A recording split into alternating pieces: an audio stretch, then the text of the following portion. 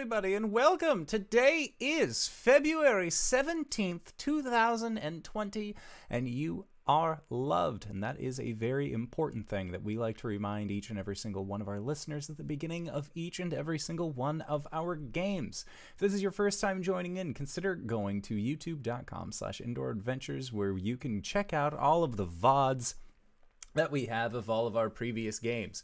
Uh, and that is, of course, youtube.com slash indoor adventures, or you can find us wherever audio casts are free under the same moniker.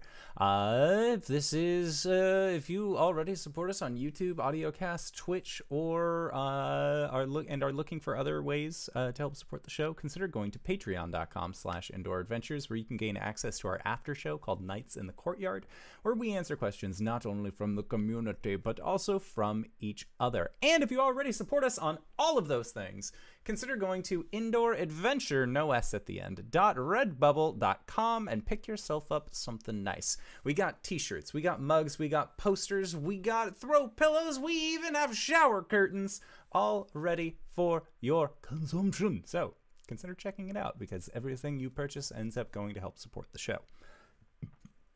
But that is it for my opening spiel. So, hey RJ, who you playing tonight? Hey everybody, I'm RJ and I'm playing Caelum, the Sharakai Wizard Cleric. Hi, I'm LB Hackemup, and I am playing Gwen, the Halfling Barbarian Fighter. Hi, I'm Cyber. I play Arjan. I don't know what it says at the bottom of my screen because I don't have the stream up. Hi everybody, I'm Wings, also known as Danae Keener. Uh, God, I almost went all the way through. Uh, Coriander the Eladrin Paladin is who I'm playing. DanaeKeener.com. And I am the indoor adventurer, and I shall be your dungeon master for the evening. So, last we left off, uh, you all had made it back to the dwarven kingdom of Certs Hellier, freed Gwen from being encased in stone, and then proceeded the long and arduous journey of figuring out the best way to dunk your friend in liquid hot magma. After, of course, Cori was sent swimming down beneath the Forge of the Inspired, she was able to find the a ancient uh, flame elemental, which helped rekindle her summer spirit. After uh, having had that spirit rekindled and arriving at the surface, the lot of you were met by a young dwarven princeling named Truber, uh, who had asked all of your group if uh, you would be able to join him at a royal breakfast. It was at this point that he then asked possibly brunch. It's okay if people don't like brunch.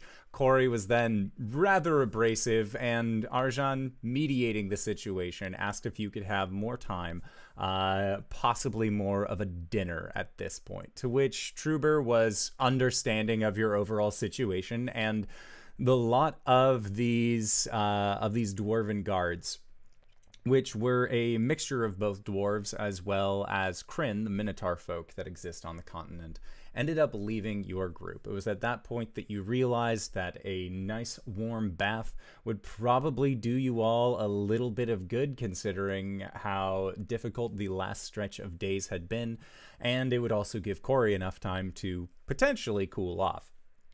At this point, you were all and you all were greeted by Arjan's uh, Abishai companion Newell, who transported you all down to the plane of Avernus through the use of dark, swirling smoke. And it was at that point uh, that you ended up meeting a tiefling artificer named Kat, while Arjan, you went to go and discuss things with Tarlan, who had summoned you to this point while Ar- uh, while Arjan was communicating with Tarlan, the rest of you hopped inside of a ancient black dragon-sized mech, allowing Gwen to pilot this thing through the hellish plains of Avernus, where you were all able to acquire a Hellfire weapon uh, at Kat's behest. It was at that point, after uh, you had completed it, that you met with Tiamat, who, or at least Kara, the black aspect of Tiamat and uh, you were returned back to the plane prime material. At this point, Arjan had not yet returned to the plane, so we are actually going to go back uh, to the point where Arjan has been taken through the halls uh, having been summoned by Tarlan. You have now been separated by your friends, which Gwen, as always, was very keen to not let happen, but you assured her that you would be fine. So, Arjan, you have been taken down this long hall, and at this point, you are getting familiar, at least mildly, with the overall architecture architecture that is within the halls of uh, of the Queen's chambers. You are then led to uh, this large door, and as it is opened, you can see in front of you a glowing green pool uh, with the almost uh, uh, emaciated re- uh, figure of Tarlan sort of resting inside of this pool. And as you get close, you can see that while it is liquid, uh, it is luminescent in nature, and there seem to be after images that float by within this pool. And the after images all look like people meeting their fate. Uh, it seems like these are all uh, the last moments of ne'er do wells that Tarlan is bathing himself in in order to regain his strength. Oh shit! And Indor, what the fuck? hey, man. We- We're starting early. Yeah, we are. Uh, and at this point, as you walk in, the Abishai that you were with bows uh, and actually removes themselves from the room, uh, leaving the two of you to have uh, some form of communication. And Tarlan moves and uh, is sort of like up to about uh, chest high. It's hard to call it a chest because of draconic body, uh, but it is about uh, a little bit below, uh, like towards where their ribs would be, and Tarlan is resting in it. And they turn to look towards you. And you can see that their skin is a, like their scales sag a little bit. They aren't as lustrous as they once were. Uh, this is your first time seeing Tarlan awake. You had seen him as soon as he had emerged outside of his crystal uh, confinement, but overall, uh, he is looking better than last you met. And as he initiates conversation with you, uh, he he basically asks for a recap. Uh, seeing as how he was unable to watch over you past the hollowed lock ruins, he is curious as to what has happened uh, in the meantime. He's been filled into some aspect by Tiamat, but uh, he would prefer to hear it from you at this point. Yeah, so so I'll tell him uh pretty much everything that I think is important that happened. Uh definitely the the political maneuvering with the various Tiamats, uh us going uh going to Greenreach, all the stuff that happened there, uh us going to Cerchilier and me almost dying with uh in the uh, Crimson Duel. All right. And when you bring up Greenreach, do you bring uh Yeah. the the uh potential vision? Yeah, I talk about the Blood Lord of the Ashen after. And at this Tarlan it's almost like he smiles. But it's hard for a lizard face to emote in a, a true smile, but he does that thing where like his mouth opens a little bit and just the Yeah, well, none of it actually happened. And Tarlan nods and says, Well, you know what you are capable of. No. I'm capable of a lot of things, but I'm not capable of that. And um, he says, Maybe not rulership, but strength. This is something you are capable of. Tell me, young one, have you tested your wings yet? No. No, I haven't. And Tarlan nods and uh, then looks at you, and you can see that his gaze fixes directly on you. And this is one of the few times that he has looked at you in a way that is void of malice.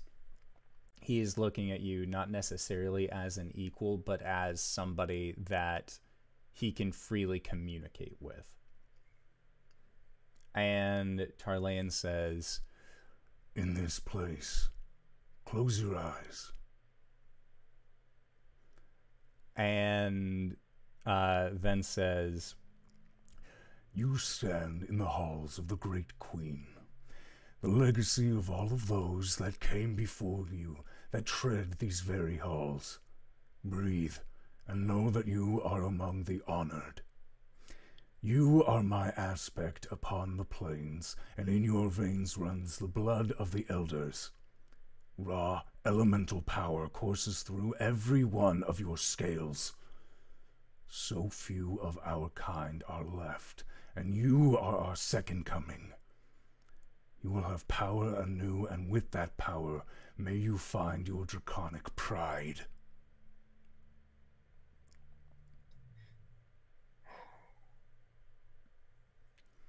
The Queen's resonance is already within you. All that is left for you is for your song to join the ancient harmony of the chromatic chorus.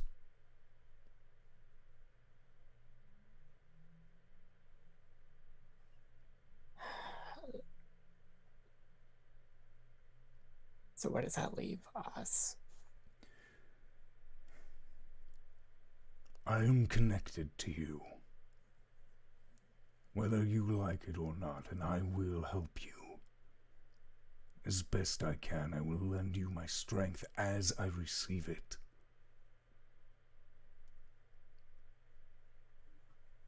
I am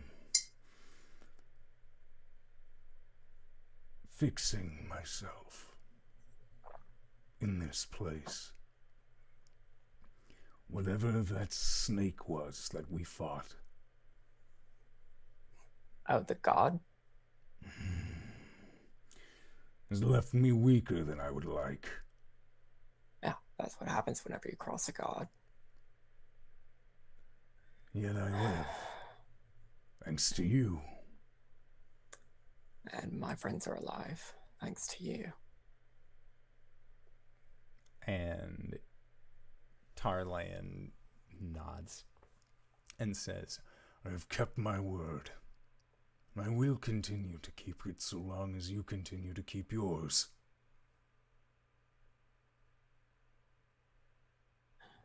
Is that. Is that even possible? Like, I, I- I may be reading this wrong, but it feels like there was definitely a paradigm shift in the last however long you were out. I can. I'm not your vessel anymore. I. What are you? Because I don't think you're my patron. You're certainly not my father. What relationship do we actually have? I am you.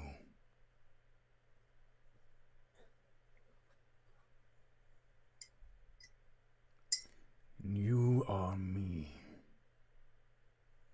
The relationship that we have is kindred.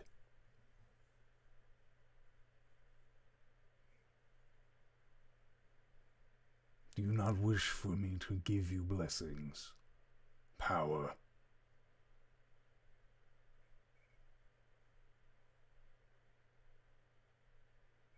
I certainly need power. then I sense no change. There's no shift between you and I. Just because I am no longer trapped inside you does not mean that we are different now. We've always been different. Arjan, we share a similar goal now.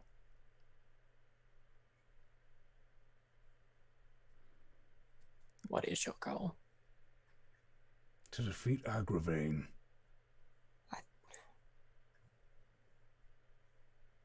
Turn my rightful place again. Were you, were you not already in your rightful place? You're back here, Agravain's pissed off, so I, I assume that means she chose you again. Because she has chosen me, yes. That much is true. But you, on the material plane, you've already said that these Southpaw people are undermining you. They're undermining my company.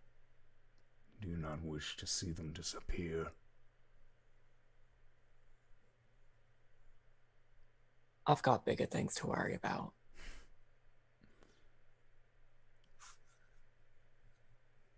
You know, the end of the fucking world.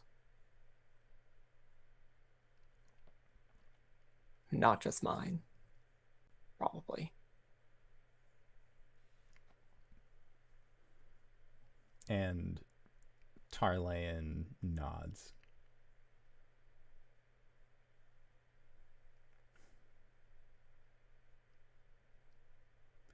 Then I will leave you, if that is what you wish. I will still be here if you need me. You seek advice.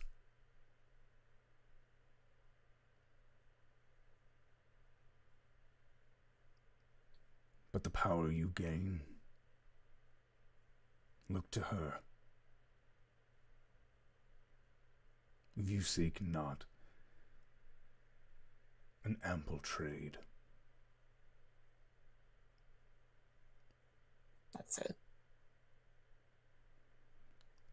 And Tarlayan rises out of the pool and looks at you.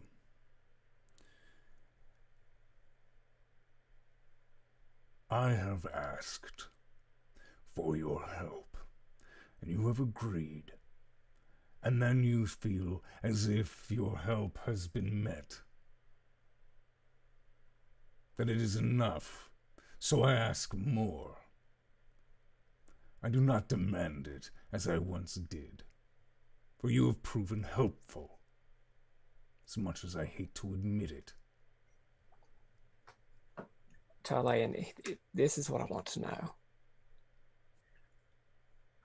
Do our goals really do align? You wish to yes, I, save. yes, Agravain is a pain in the ass, but that's just business.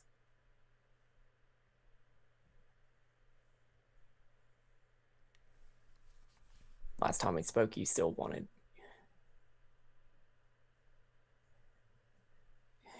It seemed to me like your end game was to take control of the Southern Kingdoms, to regain what you had in the past, which I if you're here. It doesn't look like you're going to be able to get that. Yes, I I was on board for stopping the war, stopping the cease, the ceaseless death.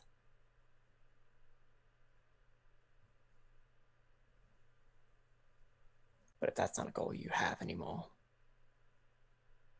what does it matter? So all that's left is the Dark Star. The end of all things. Which, let's be honest, you've never seen really keen to take interest in.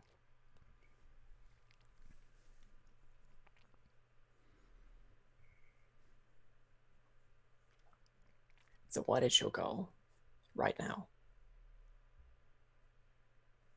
Get better, take your place by her side. You don't need me for that.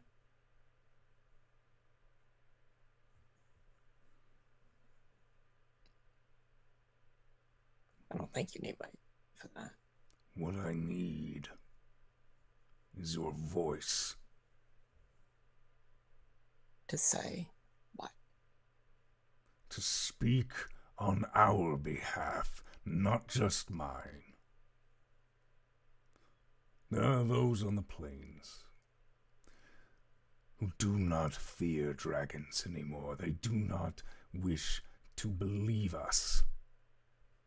Then there are those that continue to spread word of dragons. If you wish for help against this dark star, make the people accepting of our coming. For if we appear in your moment of need, and all of the tiny, tiny folk only fear us and fight against us when we are doing what you want us to, then they will fight on two fronts and we will all lose.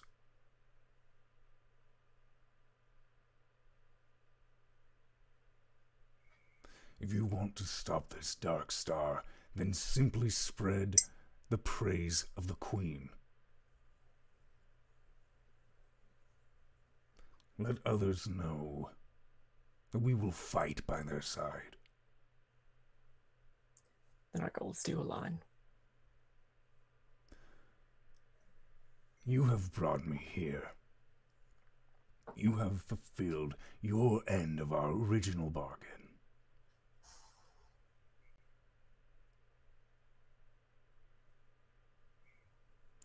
So I shall do the same.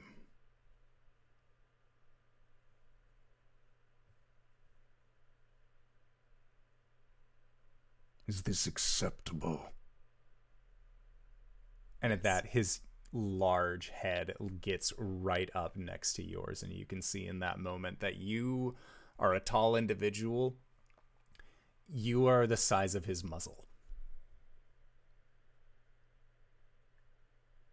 Yes. And at that, uh, Tarlane slinks back into the pool and extends a claw out towards you. And uh, you feel your. You feel your like he's raising up his right arm, and you feel that your body is also raising up the right arm in that same moment and your claws connect. And there is a what looks like a droplet of blood on water that comes from the two claws that seems to ripple out and that rippling encapsulates you and you feel the dragon mark upon your back begin to radiate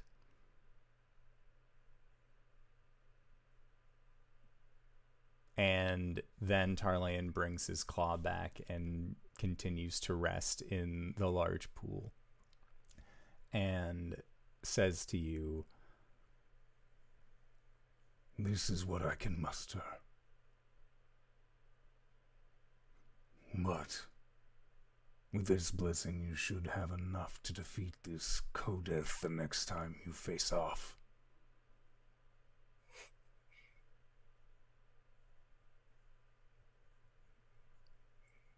And Arjan will just nod. Thanks, Tarlayan. and Tarlayan's large head nods. Uh, and at that, he sort of recedes back into this pool of suffering that he seems to be bathing himself in. And it is at that point uh, that you actually get a you get a message from a an individual that you weren't expecting uh, to hear their voice given the situation, and it is Caelum asking uh, where you are. Uh, oh yeah, I haven't. You'll they haven't sent me back yet. I'll be right back. and uh, Tarlayan uh, reminds you one last time to take on your draconic pride and use your wings when you get the chance. And uh, at that, the door opens once again, and it is Newell this time around who nods to Tarlan, uh, nods to you, Arjan, uh, and then they begin to cast uh, this magic that manifests as dark shadows around you. And as you are, uh, as you feel the magic taking hold of you and you begin transferring back, you can see that Newell has what looks like a large scrubbing device and goes up towards uh, Tarlan and dips the scrubbing device into this greenish pool and then begins to just start washing Tarlan's back. And in that moment, I'm reminded that like I imagine Newell as like this masterclass assassin, and he's just they're, they're just scrubbing the big boy. Yep. Got to make sure all those, all of that, all of that pool of nasty fill, gets in the cracks of the scales. Ooh, that's soul juice. Mm. The greatest beverage in all of Avernus. Uh, and it is that uh, that Cori, Caelum, and Gwen, uh, there is a cracking noise as this uh, dark mist sort of fills the space next to you as Arjan appears. Uh, It's like the Thanos portal. Yes. And once again, the four keeps are reunited. Uh, you all smell like sulfur, except Arjan, honestly. Like Arjan, he still looks fine from the bath he had before. It's Um, like incense. yeah, there's more of an incense smell to him this time around. But you are all back together. If I recall correctly, we still have the room. Yes, you do. Gwen's already naked, running and jumping in the water. Oh, uh, I don't know how time really works with all that. Uh, did anybody ask what time it was? How long we have until uh meeting? Uh, Caelum will poke his head out the door to see if there's any like staff. The staff that you had met with previously that had informed you that you still had the room uh, informs you that for you all, it's only been about 40 minutes or so. You're, you were still within the time frame of, however, of the hour that you had rented the room for previously when you returned. So it hasn't been that long, and they just look at you rather confused.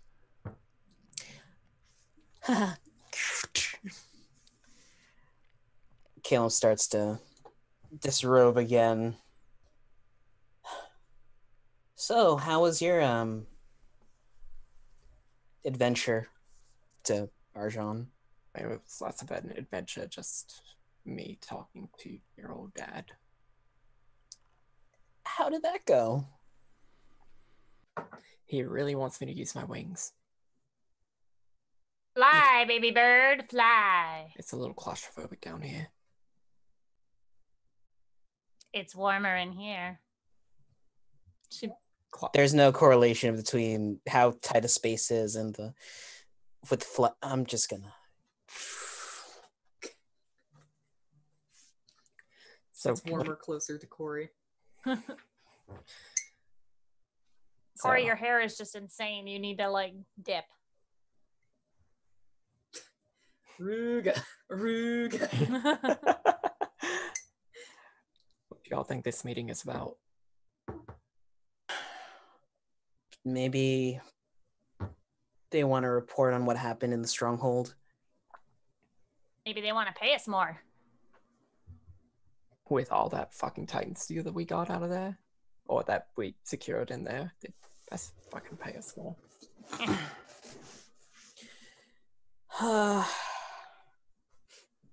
Here's hoping it doesn't. Here's hoping nothing bad happens. We didn't do anything illegal while we were in town, right? Uh no. Not that I know of. Unless Kodeth and I really did start a war. Oh shit, yeah, that would suck. But I mean, neither of us died. Right. And it was all after everything had been settled, so like, Yeah. right? I, Yeah. yeah, Unless there was another monster that jumped out and killed him. one can only hope. Uh, we, don't- we can't hope for things like that. because it's wrong, or we never get that lucky. We never get that lucky. Mm. I get lucky all the time. She's Not that floating kind on of her luck. back. Oh. There's a small splash. Ah! She's gonna go over and like kind of cat onto his head and start scrubbing his hair. Undoes the braid. Just lets it happen. so after we do this meeting thing, as long as nothing else comes from it, what do you guys want to do next? Uh, if I remember from the docket that we were talking about while you were kind of stoned, we might want to check up on Arask. Mm. Where's the next season? There's a boiling from the center of the hot tub as Tori comes back up and she checks her corvid skull. The Corvid skull points to the west. The Complete opposite direction. Right. Well, west is Green Reach, and then there's the uh, uh the big old skull thing. Well, we kind hopefully we can avoid. Knowing us, we're probably going exactly there. what's west? Uh, something felled. Um, to the far west, there's a city, correct? Fildas. Mm-hmm. Filled us. Yeah, Maybe it's there. maybe. But that's isn't that where the titan that isn't that where the titan skull is? That's where the Rookery of Bone is located. Yeah, that's that's where the Rookery of Bone is. So like, would like to avoid that, but it's kind of on. That's where all your memories are, Caleb. Wooga. Wooga. yeah. Uh, also, like Goliath's. It. I don't know if I can go there since I because there there's another tribe there that my tribe doesn't really get along with. I mean, but uh, is there any sort of diplomatic mission that you could be making? no. No. I mean, how likely would it be for them to have heard that the new chieftain of the Thunder, Tread Thunder clan is a halfling? probably very. You know, remember how we didn't kill the fuck dude who uh, took Cori's arm? Oh, I'm I'm guessing he probably went somewhere like there, since he's into necrotic shit. okay. I Um, mean, I well, don't that- know, but like that's my guess. Then they're harboring an enemy of the chief. That's true, but also don't want to start a war in my first year. Nah, so do some diplomacy. I don't know if you've noticed, uh, Arjan, but I'm not really that diplomatic. No, that's okay. you No. should rename your axe to diplomacy. It is called diplomacy. The Rondax? Oh, no, my old axe was called diplomacy.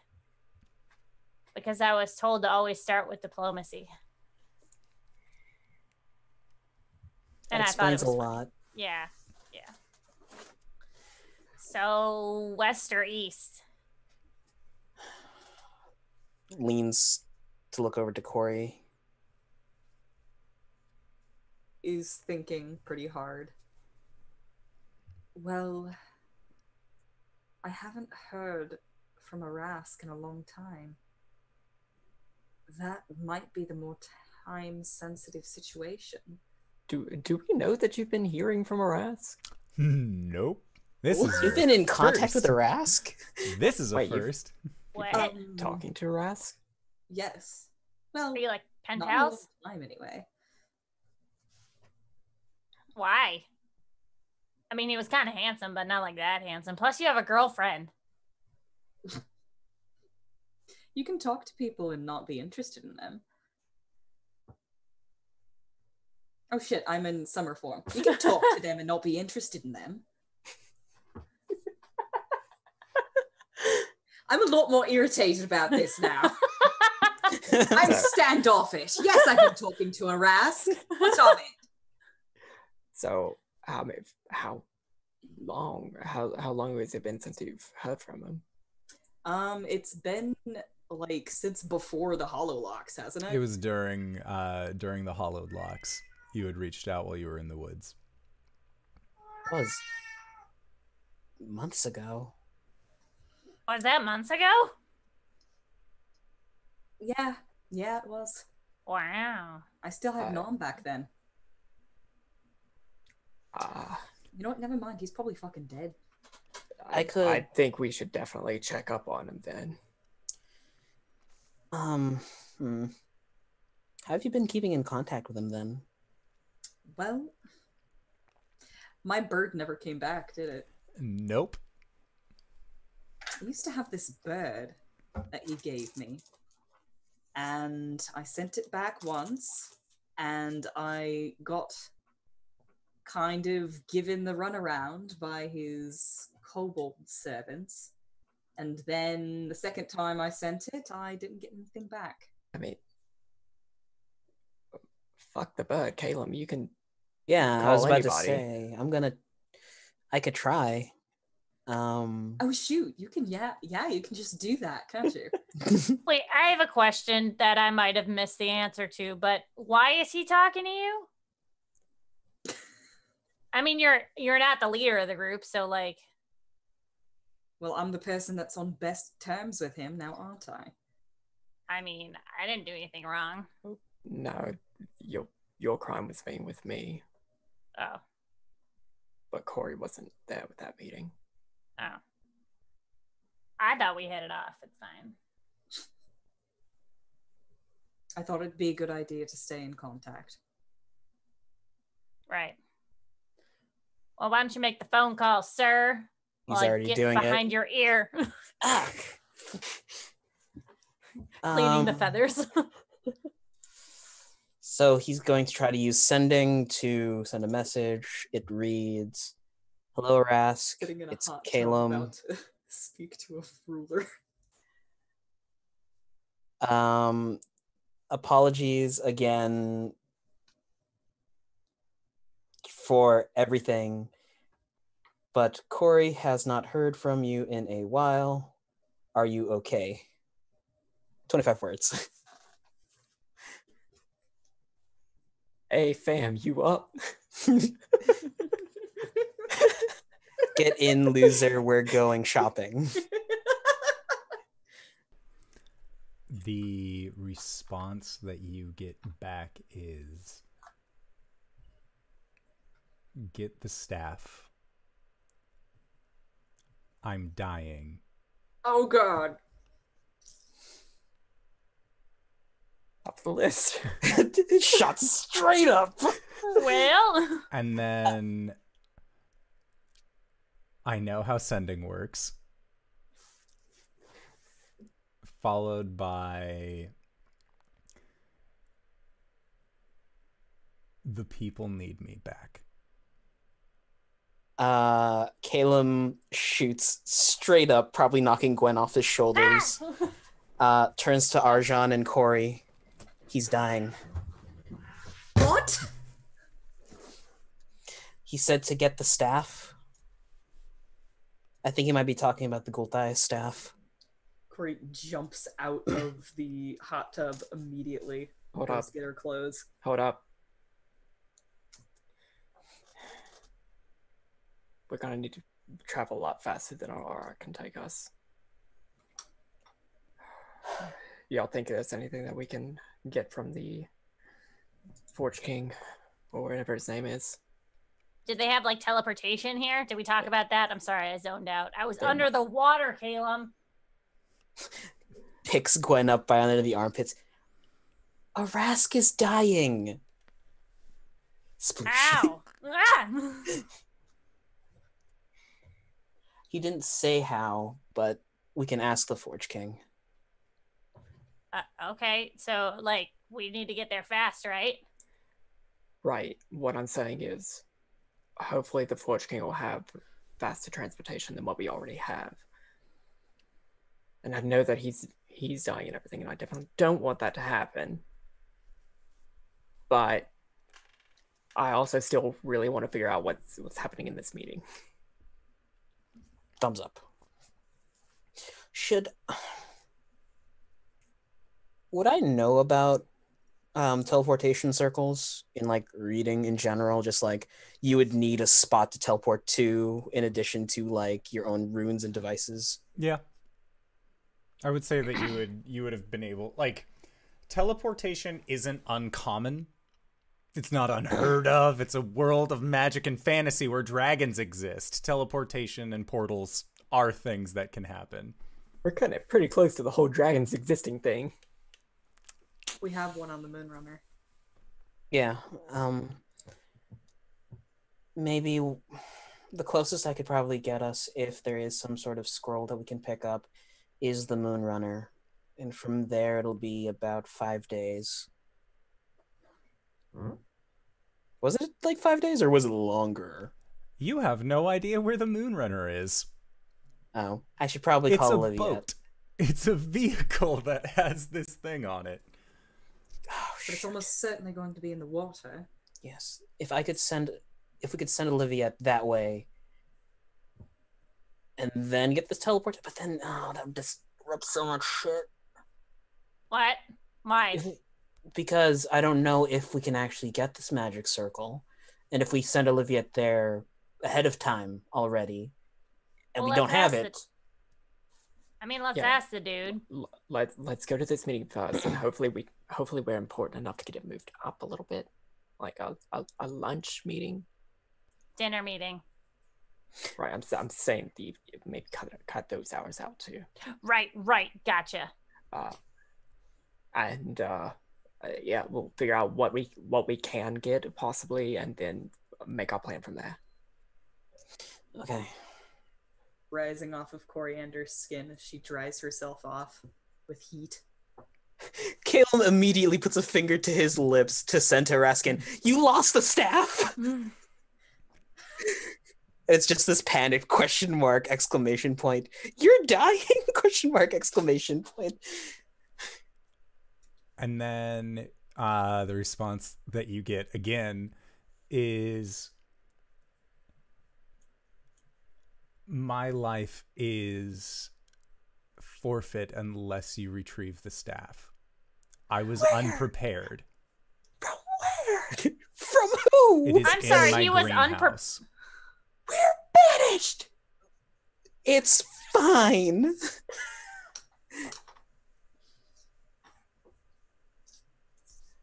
Uh, does Caleb relay this information? Yeah. uh, he will once again go be there as quick as we can. Um, hold on. Hang on. Uh, The last bit of information that Arathsk is able to send within the 25 words is there was a creature on the Hag's Island I was not prepared for. no, later. Wait, the thing we fought? Or is there uh, something else? I think it's my kid. You're wh- oh, but I I mean, was it that powerful?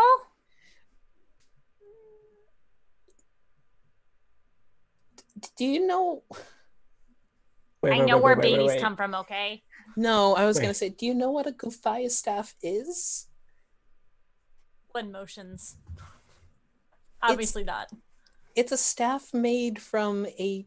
Okay, so the legend of the Gulthias staff dates back really far, but apparently a vampire was staked, and in its spot grew a sinister tree, and a Gulthias staff is a staff made from the branches of that tree.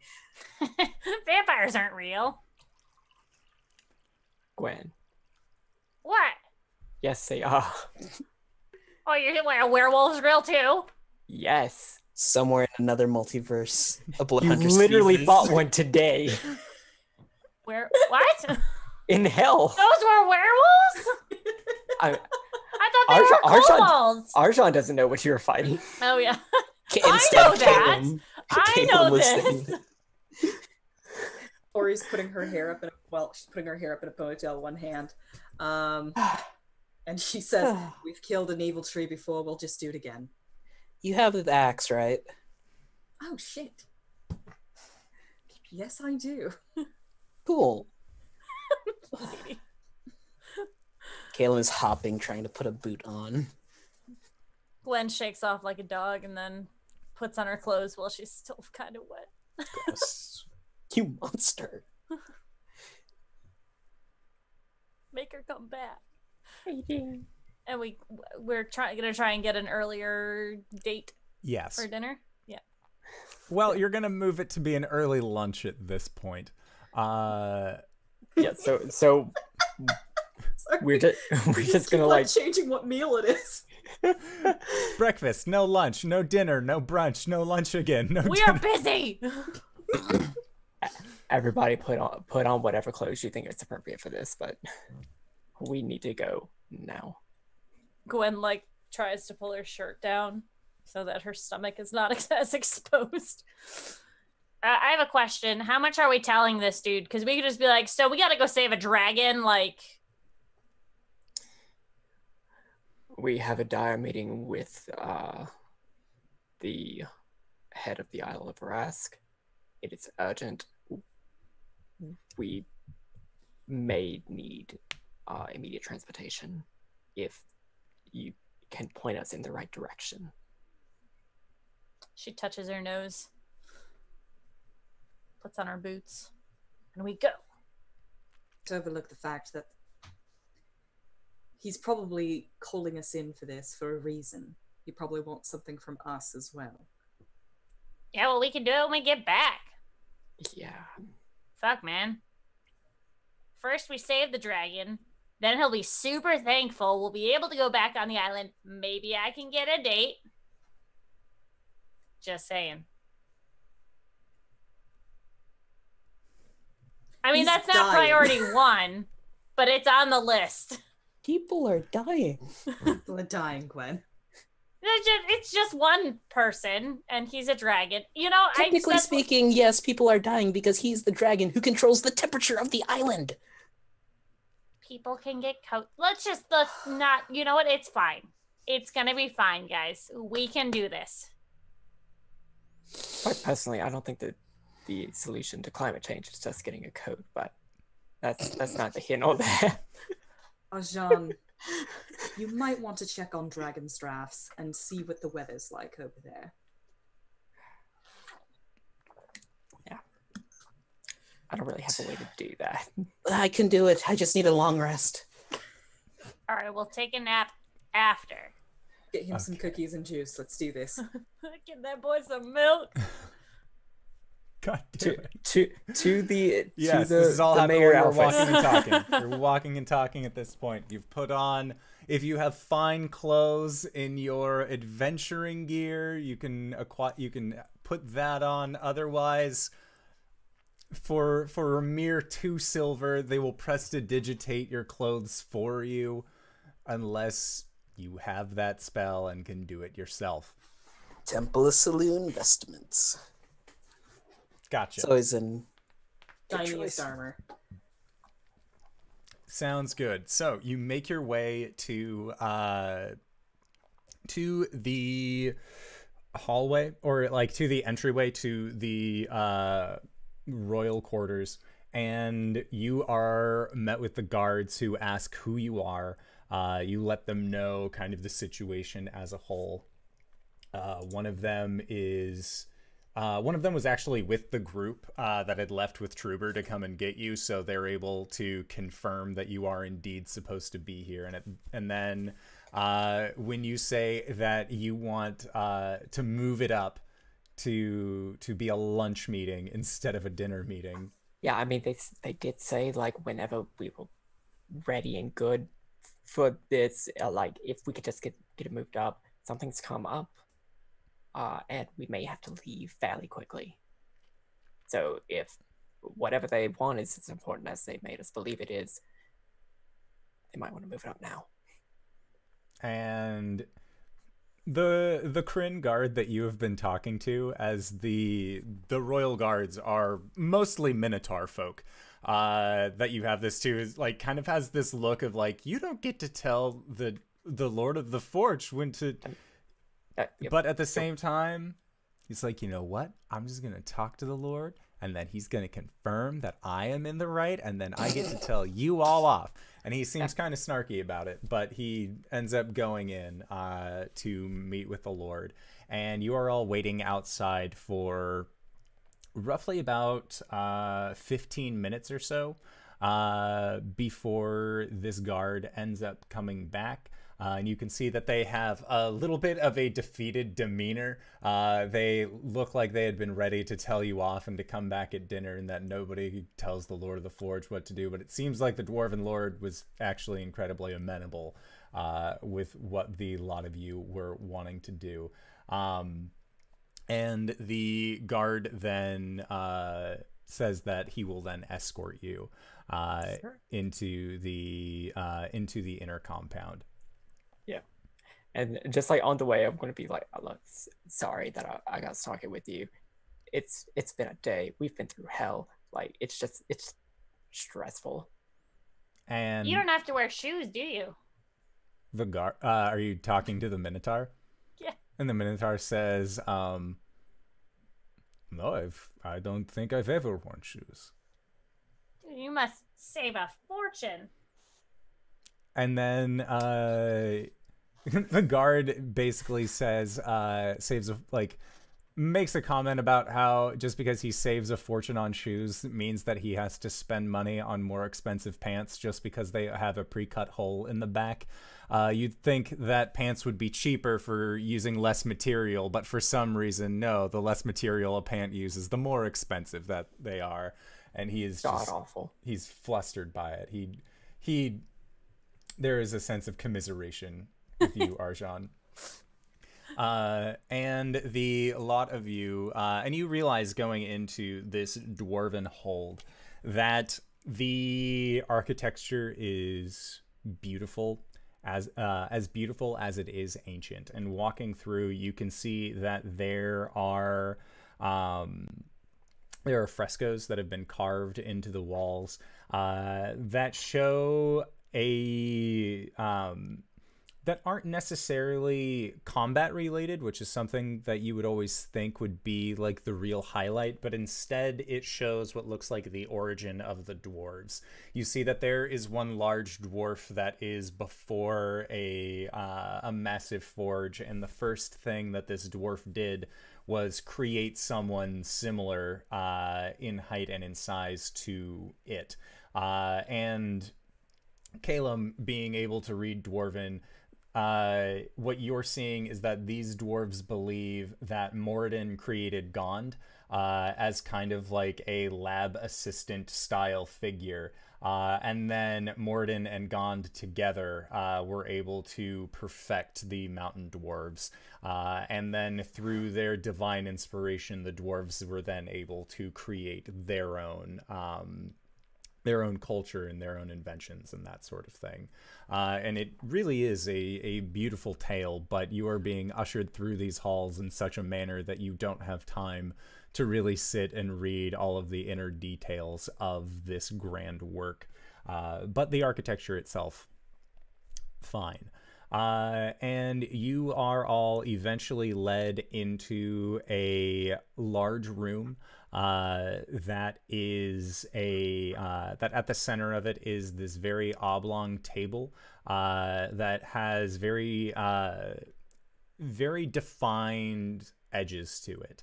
And there are a set of chairs that are presented as well. And on one end uh, of the cha- uh, one end of this table, you see that there are two seats next to each other, which you assume are going to be for the king and the queen, uh, the lord and the lord's wife. I didn't have a name for it, so king and queen is fine. Um, Lady.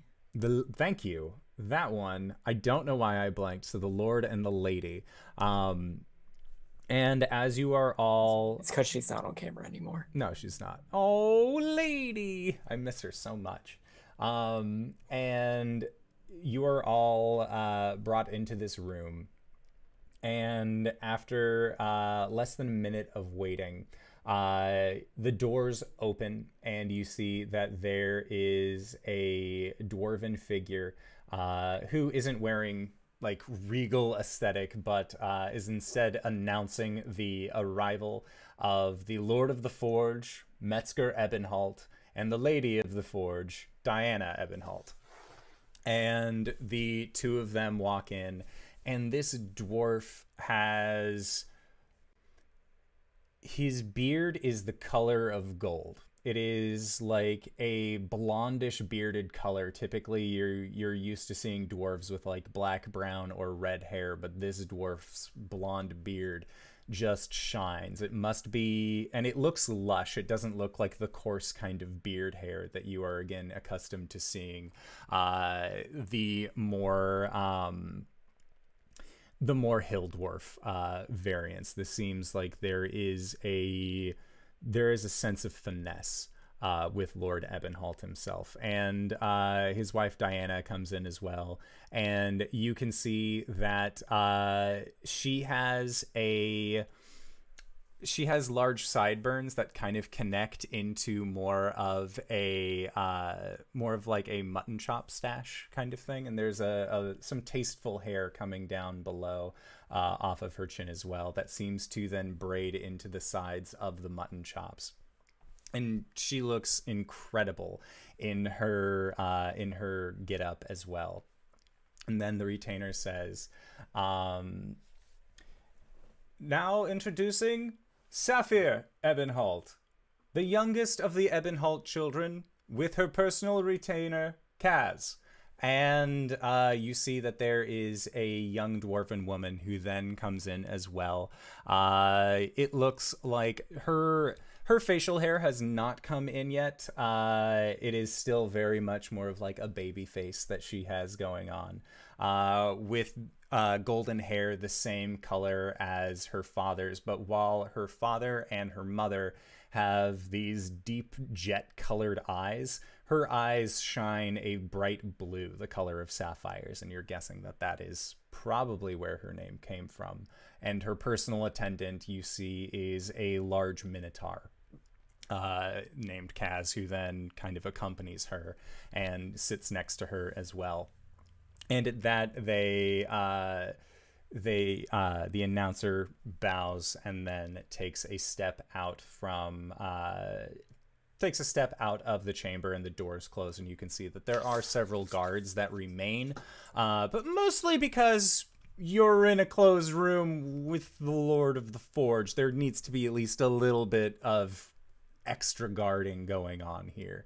Um, and uh, as you all uh, sit down and the announcer ends up coming out uh, or leaving, uh, Metzger says, "Ah, welcome. Uh, sit, sit, all of you, sit. Uh, please make yourselves at home." And uh, Diana takes a seat next to him, and Sapphire and Kaz sit next to each other. Um, and uh, Metzger says, "I would like to say thank you uh, first and foremost, for your diligent job uh, at the Fire Giant Stronghold. Uh, I heard from uh, my middle son, Truba, that you are all the ones who ended up going. Uh, and I would like to say thank you. It is not often that we get outsiders who are willing to help us in the way that you have. I understand that uh, overhearing bits and pieces from my brother-in-law Altam, as well as my son Truba, that you are all very busy with this um, finding your seasons thing. So I wanted to help uh, expedite uh, some of the process. Uh, typically, uh, you look confused uh, big, tall. What are all of your names? Uh, by by the way, I didn't hear the announcer did not say your names when you all came in, so I did not catch them. Uh, I'm, I'm Gwen Stompfoot. of the Tread Thunder clan. She does the Goliath bow. And mm, uh, Metzger nods towards you and just. I did not know that the Goliaths accepted halflings into their society. They don't normally. Well, uh, if what I have heard is true, they made a proper exception in your case. Thank you, my lord. Uh, please, uh, none of that. Uh, we are at, we are at lunch. I I would have preferred a little bit more notice so I could round up all of my children and we could all have a family dinner with you all. But I I understand you are you are busy. We offered you uh, that you could come at any time, uh, but if you don't mind me asking, what is it? And Diana sort of pats him. They haven't said their names yet. Only that one. And she like points towards Gwen. So what about you, darling? What is your name? And Diana just sort of leans forward and looks over towards you, Caleb. Oh, um, my name is Caelum. I'm a cleric of Selûne. That is that is very nice. I'm sure you and Alton got along quite well.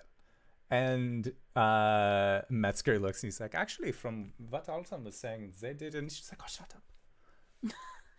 oh, what about you? Uh, the uh, very tall, scaled one.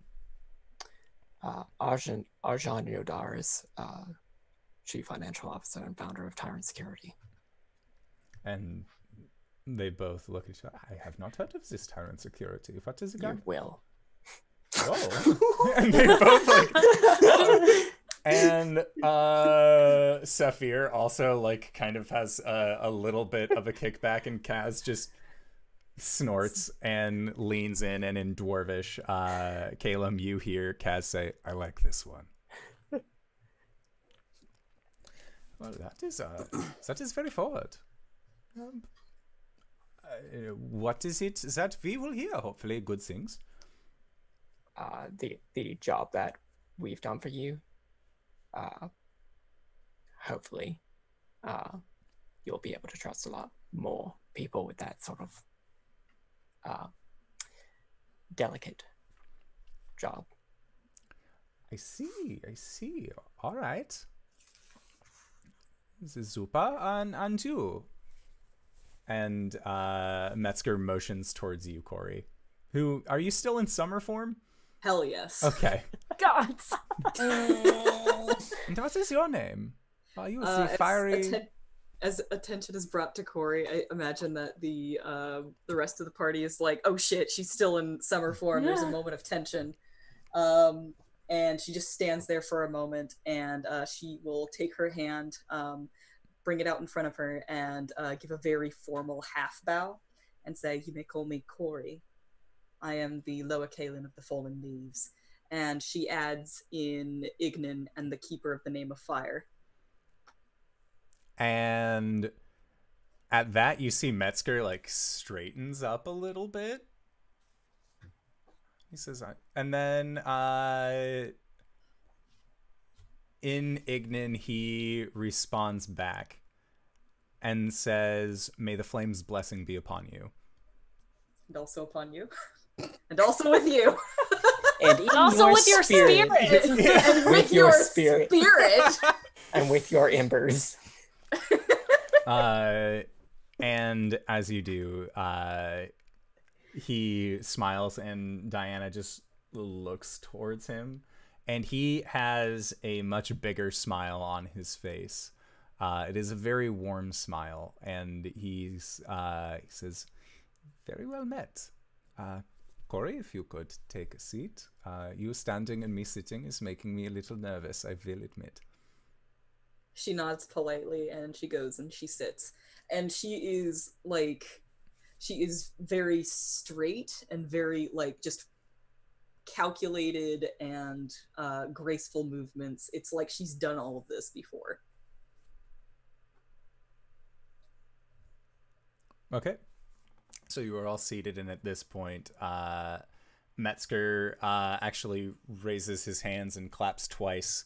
Uh, and when he does, uh, he says, Well, now that we've met you all, it would be rude if we didn't have conversation, at least with some beer or some uh, some sort of uh, food, to put it lightly. Uh, so, and at that, the doors open again, and you can see that there is uh, wait staff that actually comes in, and there is a um, it is full of uh, the food that you receive is uh, various meats that you have not seen since your journey here under the mountain. There, uh, there is pork, there is beef, there is fine beer, there is cheese. There are all sorts of these foods that they seem to have imported from the surface down below, uh, as well as uh, wonderfully uh, wonderfully grilled mushrooms uh, are available at the table, and you can see that there are th- uh, thick slices of tomatoes as well. There seems to be a plethora of like of of vegetable choices as well as meat options. And uh, Metzger just motions for you all to help yourselves as it's served more of a family dining style uh, rather than each of you getting this more like tailored plate. He doesn't know who you are yet, so instead he has just offered you options. And so you can fill your plates to your heart's content. And when you see, and when uh, it looks like a a tray or plate of whatever variety of food is getting low, wait staff will come in, remove that plate, and then just bring out more. And Arjan, you know, you and Gwen both have the same like gut feeling of, oh my god, it's a free buffet. Arjan is happy because it's free and he can nom as many foods as he wants. Gwen is just excited about the sheer quantity and quality as this is this food is it is made by a true culinarian. There is no way that whoever made this does not love what they do with all that they can. This food is made with passion. You guys see her, see Gwen tear up a little bit. as She's eating this food. Are you okay? It's just so good. Sorry. It's fine. No, it's really good. Thank you so much for this wonderful food. and uh Metzger is just smiling to himself and he's just like it's fine it's fine uh, it's uh, quite literally uh one of the least things that I can do here but um what I was saying before we brought food now we have food we can talk over it I would like to uh, thank you for what you have done in helping liberate the uh, stronghold from whatever things were in there. Uh, when you had uh, signed on to the contract, uh, there was mention of a finder's fee.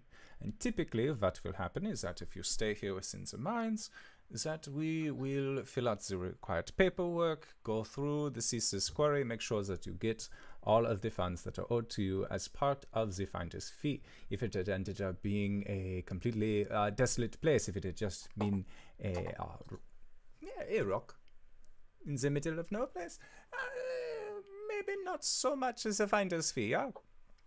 But from what we have heard, there is more than just rock down there. And we can confirm that. which is why we thought that uh, expedites the process. Uh, as Truebird said, and as I had mentioned before, you all seem like uh, very mobile individuals. Yes, How long to say you, the least. How long did you plan on staying here? No more than another hour. Oh, that soon. Uh, Yes, uh, a matter of dire urgency has come up. I do not like the sound of this dire emergency. Uh, uh, Yeah, we we it- don't like the sound of it either. what is happening? If you don't mind me asking.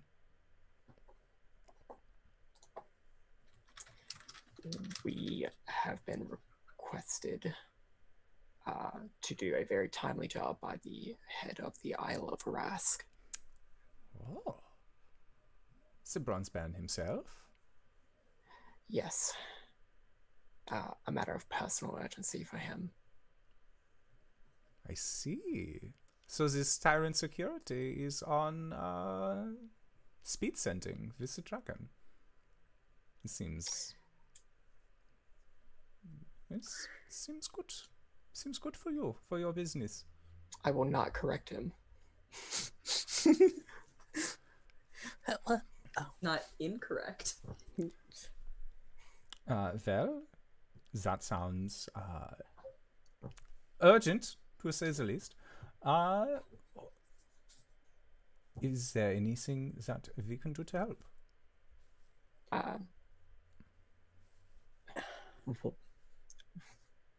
not to uh, make demands or ask of more hospitality than you're ready to give, but uh, once again, this is a matter of dire urgency that we make our way to um, as soon as possible. If there's anything that you can do to help us, you know, if if you can really expedite this process, uh, I'm sure Arasthk would find it in his favor. I'm, sh- I'm sure he would as well. Hmm. I do dealings with the dragon from time to time, but no one has heard from him for several months now. Right. So, with that in mind, urgent dealings. You said uh, previously a dire situation. I'm guessing everything is uh, nicht sehr gut with the dragon? I'm I'm hesitant to say any more than I he understand. wants to get out. Well then, seems time is of the essence. I regret to admit, we are not, uh, we are not very arcanely inclined here. Within the city, uh, much more, uh, well, we've, we have many temples, but if you're looking for some place that has, uh, capabilities of quicker movement. The city of mages would be your option. The floating city, Vasco, towards the coast. There, I'm, I have friends there. If you would like, I can give you a letter of recommendation. They would be happy to tell, take you wherever you need to go, so long as you know the coordinates. I can make that work. Ah, wunderbar. So, with that in mind, uh, and at this, the uh, all of the uh, like lunch dishes have kind of been taken away, and instead, uh, trays of sweets and other goodies have been brought out, and you can see that there is like strawberries and cream.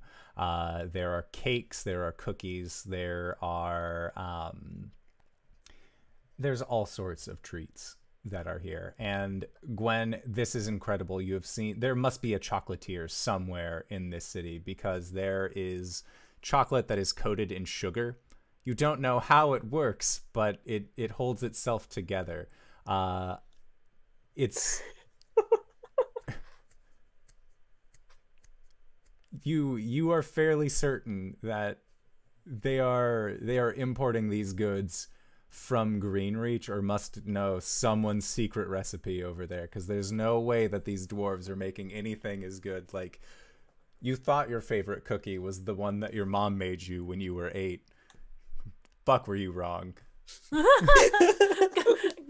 Gwen, you notice that Gwen is uncharacteristically quiet through this whole time. And Caleb, if you're sitting next to her, you can just see her like like wide-eyed at the food and just like like like in the end of um Hitchhiker's Guide to the Galaxy when they're eating the food at the table, just like sobbing to their foods quietly. She's just like like kind of letting her hair fall down over her face and just like shoving food into her mouth.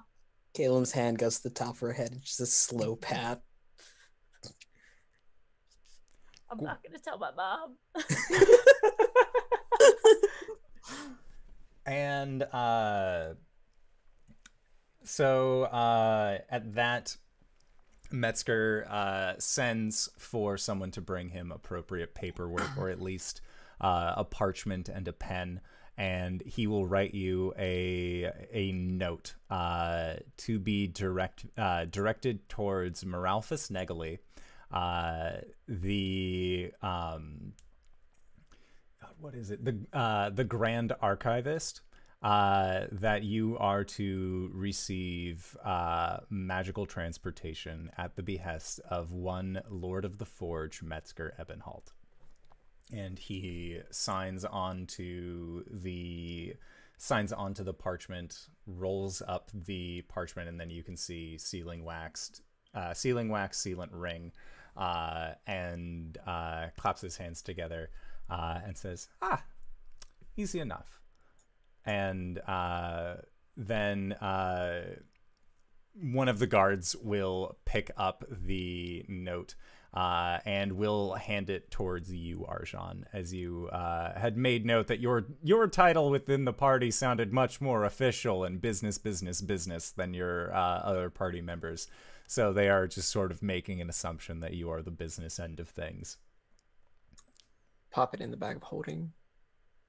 And uh, once the desserts are cleared, Metzger says, "Okay." there's one last thing for all of you, which I've been trying to get to this entire time, but more food just kept coming out. It was so delicious. And Diana smacks him again and just, You kept putting it off. This isn't about them. And he just, I. Okay, so. Your fee. This is, uh, hopefully, this should be agreeable uh, as compensation not only uh, will we help you, but uh, hopefully this helps you out a little bit as well. And uh, at that, you see a. It is three minotaurs come in, each holding what look like rather hefty sacks. Uh, and they will place them on the table in front of your group, and you can hear the sound of coinage rustling against each other inside of each of these large bags.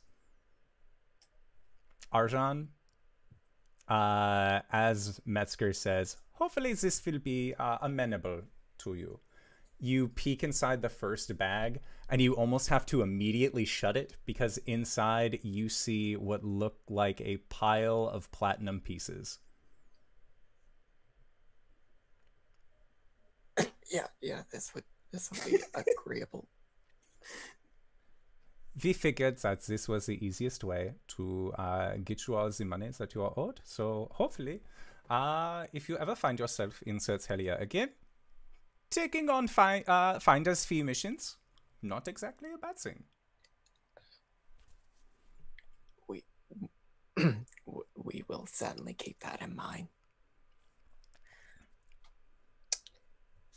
And uh, at that, um, he says, um, and I have also heard word that you came in with uh, a, a pack animal of sorts. Yes. I have made sure that the that your boarding fee is taken care of. Do not worry. Thanks. Are you planning on going? If you are planning on going to Vasco, I will see to it that you have as much food, drink, water as you need to make it there. Again, you Uh, have my thanks. Can you give me the name of the person who did the chocolates? And uh, he uh, he says yes. Uh, that it is a uh, it is a dwarven fellow by the name of Mumbles. Mumbles. Mumbles. Mumbles. Um, sorry, sir. Um, uh, one last question. Would you happen to have anybody in your court who could also cast sending? We might have someone. Well, um, it would probably be in our best interest if I could meet with them, so you could have us on speed dial as well. And uh, he nods uh, and says um, that they will look for someone.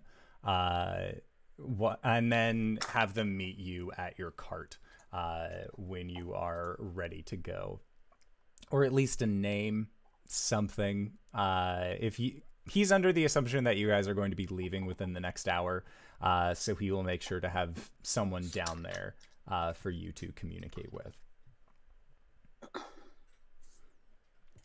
And uh, at that, uh, he says, uh, "We owe you a great debt." And as the leader of the free city of Certelia, we offer you our sincere thanks for your discretion in taking care of this issue. Thank you again. You're very welcome. Uh, if you ever find uh, yourself or any of your people, uh, if you find them in trouble with the Tread Thunder Clan, just uh, tell them my name and that we're cool and uh, you'll be set. And uh, he says, Ausgezeichnet. Uh, thank you. Thank you. Gwen grabs the bags as we're leaving. And just hucks two of them over her shoulders. Gwen, you are capable of carrying quite a bit of weight. The fact that you hear jinglies, a l- very, very nice jinglies, you, I feel, were more focused on the chocolates. You don't know what's inside these bags, Yeah. but you know that they are large and they are full, and this is probably more than you've been paid in quite some time. Uh, it seems like whatever you did in Greenreach will most likely pale in comparison to however much this gold, uh, gold or platinum be. And before we go into our break, uh, as you guys are uh, escorted out of the uh, Lord of the Forge's domain, uh, eventually you will be able to count up all of these platinum pieces with a total of 3,500 platinum. I We could rich, buy bitch. Greenreach. On the way out, uh, Corey will approach Sapphire, uh, tell her she has uh, more beautiful eyes than she has ever seen, and she will kiss her hand. and Sapphire, uh, blushes, and uh, Kaz just sort of like looks at you, looks at the holding hands, but then is like, "All right, everyone gets one." Like he's he's watching you, but more so in the fact that like he let his guard down just enough that a almost stranger then touched the person that he was supposed to be protecting, and he doesn't know how he feels about that. Hell yeah. Uh, and uh, Saphir swoons a little bit. Like she's definitely like, oh, that's thank you. Uh, and uh, as you are leaving, uh, Metzger calls out in Ignan to you, uh, Cori, and says, um, "May you stay ever embered." And that is where we are going to go to our break for the evening. So, I would like to say thank you to everybody who's decided to stop by and join us for this wonderful romp. We are going to try and be back in five to 10 minutes. So, don't go no place unless it is to grab a food, grab a drink, grab a friend, or possibly go to indooradventure.redbubble.com. There's no S at the end of that. And pick yourself up something nice. But we shall return shortly. All right, everybody. See you soon. Hello. Do it. for you audiocast listeners, I want you to know that that patting sound was not what your dirty mind might have thought it was. However, it was instead LB patting Asmo's butt to make him go meow.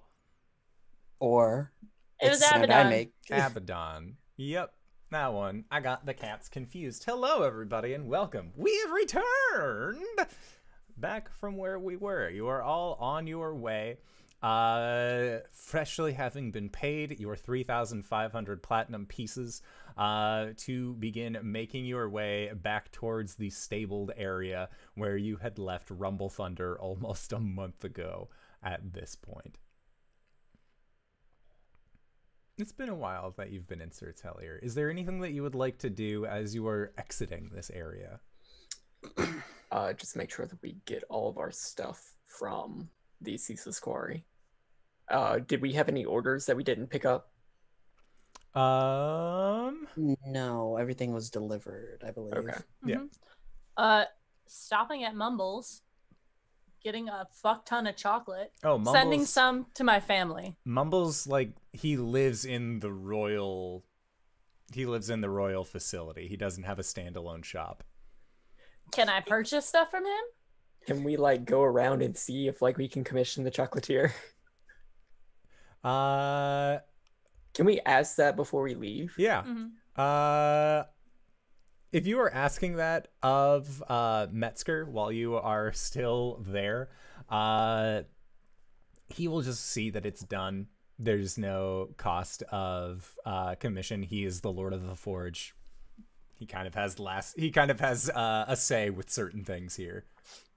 Yeah, so Gwen will package some of it up really carefully and send it to her brother in Greenreach. Gotcha. All right, so the chocolatier has been commissioned, uh, and you are all heading off uh, towards. Uh, you go to the ceaseless quarry, uh, and while you were there, uh, one of the guards that uh, had escorted you towards the edge of the compound actually walked with you towards the ceaseless quarry on a. Not to like check up on you, but it seems like one of the few individuals that is capable of casting sending that the king knows of uh, is actually the clerk of the ceaseless quarry. Uh, so they are then asked uh, if they would be able to establish contact with you, Caelum, uh, as a means of communique.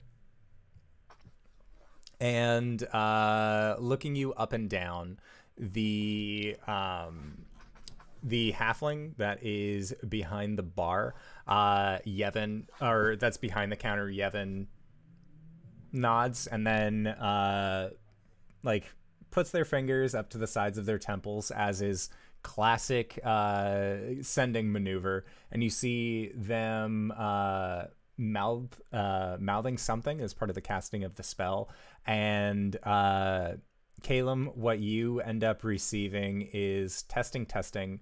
Uh, this is Yevon Bear Carver. Uh, asking per uh testing the uh testing sending for King uh Lord of the Forge Metzger Ebenhalt. Um, yeah, Caelum puts a finger to his lips and just goes, uh, "This is Calum. Message received. Connection established."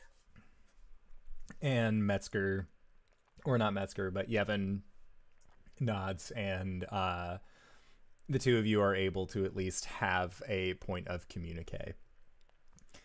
Caelum, you also know uh, that should you need to get into contact with Metzger himself, all you need to do is send him a sending spell, and then uh, you will hear a. Uh, if Metzger needs to reply again, he will just have Yevon do it. But yes, uh, you were able to collect all of your goods and everything else from uh, from the ceaseless quarry and begin making your way back towards the stables, having successfully uh, gotten paid for what was rightfully quite a dangerous mission.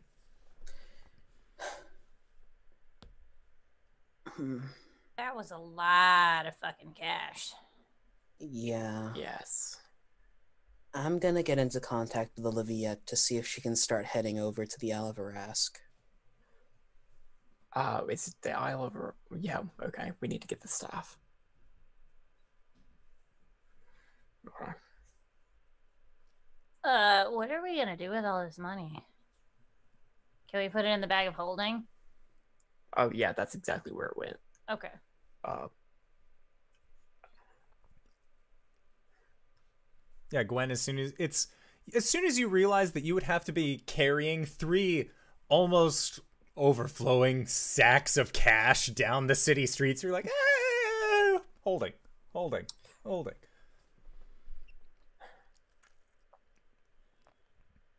I'm hoping that Arasthk has enough sway on the mainland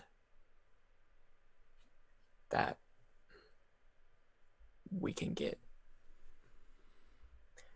We need a house. We need a base of operations. Can't the tribe be that? We need something that, if people need to get in contact with us, Oh. it, they don't have access to sending or any other magical ways to contact us. We need we need a business office. well, specifically, I need a business office, but us as the Four Keeps, we need a home.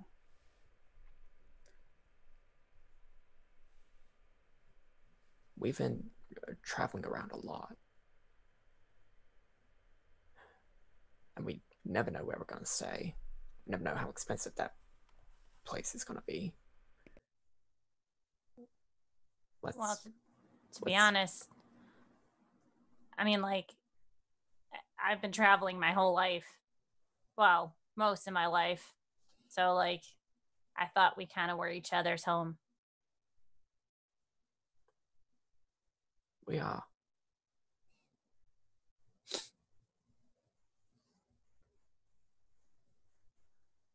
All that being said, it probably isn't. I'm sorry, hold on, I'm Summer Cori. All that being said, it probably isn't wise to be carrying around this much money on us at all times. Considering at any moment one of us could get jumped and mugged and left in a bag in a street. Glenn Caelum immediately. takes a few steps to the side. yeah. Unless Mhm. unless they know that they are going to be able to uh, grab your chest out of this bag. I don't think we have to worry about our money being taken, just the bag. But yeah, that's that's an issue. Um, I'm ju- I'm just saying it might be nice for us to have a place that we know we can go back to in the middle of all this. Yeah. Fine. Uh, what would you want to do with the money? Oh no, I I don't have any. I I have, I can't even fathom what one would do with that much money. But like, I, it's no, you're right. We should have some sort of base of operations or like hub for people. But where where where would we set up? That's what I'm saying. I'm hoping Arasthk has enough sway on the mainland where we can get settled without rubbing elbows with anybody. Right. We're gonna have to save him from dying first now, aren't we? Yeah. We could set up in Marsville. I'm, we could. Well, uh, There's a lot of of middle. loopholes and stuff. yeah, that that that seems a bit more political. Yeah. You'd have to like talk to the trade commission because then you have to set up a place of business and then you're going to have to talk to the carpenters guild and the stonemasons guild and it, you're going to nap for 12 minutes and one of us is going to get arrested. Sorry, tangent. I'm just Have- saying the la- the last time we did a job for Arasthk we did we were able to get a house. Hopefully, we can get another one this time that we won't be kicked out of. True. And we will have the one that we are we got kicked out of, but we'll go back to, right? I think we're going to be lucky if we don't get arrested for being banished. That's true. Uh, well, Arasthk was contacting you, right? He was we talking to me. yes. contacted Arasthk. I'll contact him again when I have the power to to make sure that everything is settled when we get back so we don't get arrested on landfall. I feel like this is going to be a heist. We're going to have to do a heist to save I- Arasthk's uh, life. Knights in the courtyard. Uh, so, our, I mean, what's our beast's name? Thunderfoot? Tread Thunder or uh, Rumble Rumble. Thunder. Rumble Thunder. Rumble Thunder. Yeah, he could. They're seated the, this Sunday at the Coliseum. Come see Rumble Thunder stomp through cars. Take a pace for the whole scene, but you're only going to need the end.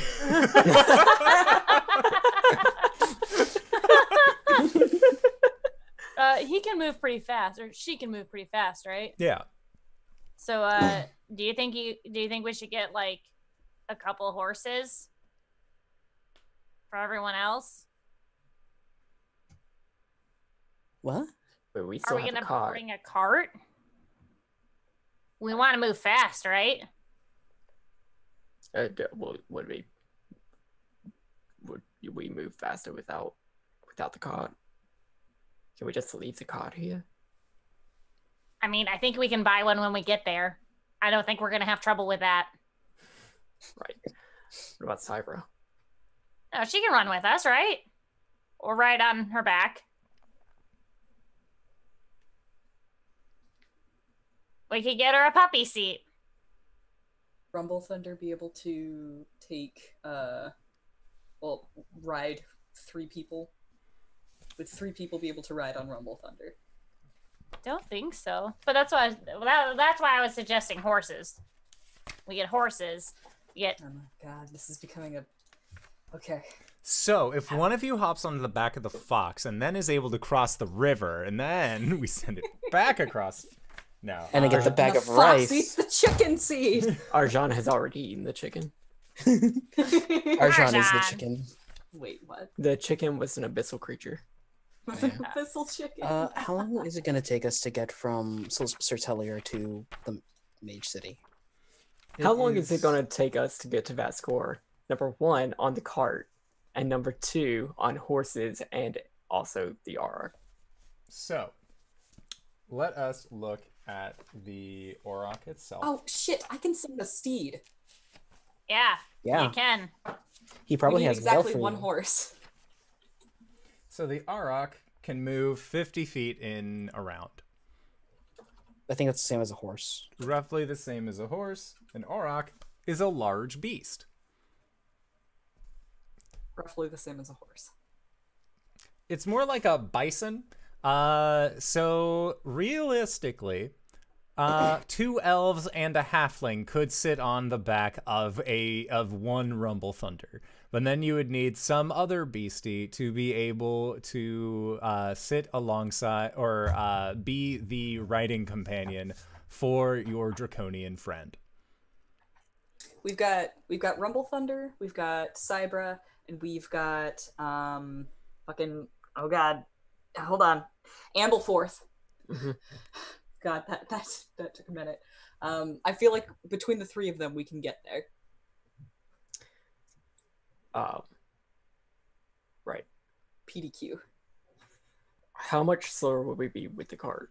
With the cart, uh, the cart would add roughly about four days onto your journey. Right. Okay. So if you were So- trying to go like bats out of the hells uh, to the city of Vascor in the meantime, um, it would be it would behoove you to not include the cart. Boo. Behoove Stop. horses. Stop. Um. Okay. So The amount of puns Do- in this session has been negligible up until this point. do we get extra horses or not? We can make do with one. One Gwen and I can ride one. Um, you on Rumble Thunder, Cori on Ampleforth. Gwen If you want Cybra. Yeah. Oh, Yeah. okay. Cybra has barding. So I could ride with either you or Cori. We're set.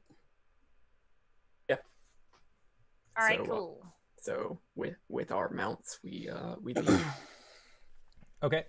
Uh, so when you get to the uh, when you get to the boarding area, uh, your cart was uh, going to be replaced with a large covered wagon uh, that would allow you to avoid getting drenched by the elements, have a little bit of protection from wind, that sort of thing.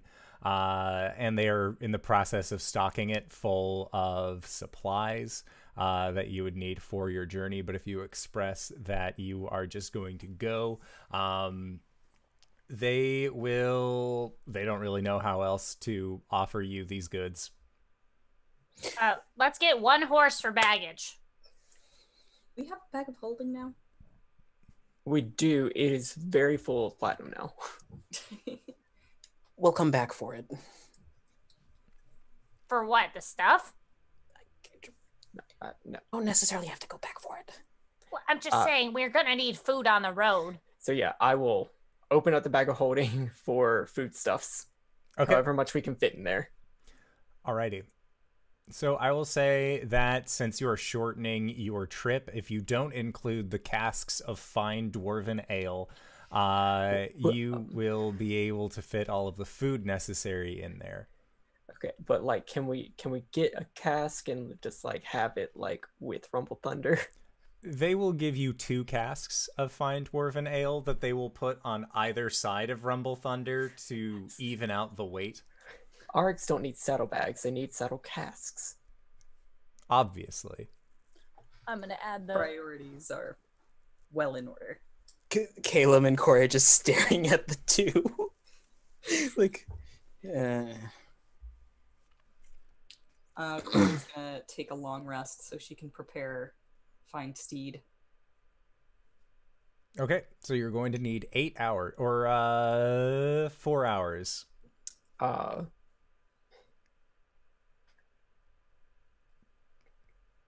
okay. Well, we're uh, getting everything ready. She can be Mhm. doing that, and also Caelum can be doing that. Well, um, before I take the short rest, then I'm going to message Olivia. Uh, messages, Olivia, something. Uh, hope you're not busy. Something urgent came up. Can you head to the Isle of Arasthk? Um Might get perks. uh, compensation, um, negotiable. See you soon. Uh, and the message is, uh, it's very quick. Uh, and she sounds a little, um, she sounds a little hurried in her response. Um, that says, uh, kind of busy. We'll see you soon. Do my best to get there.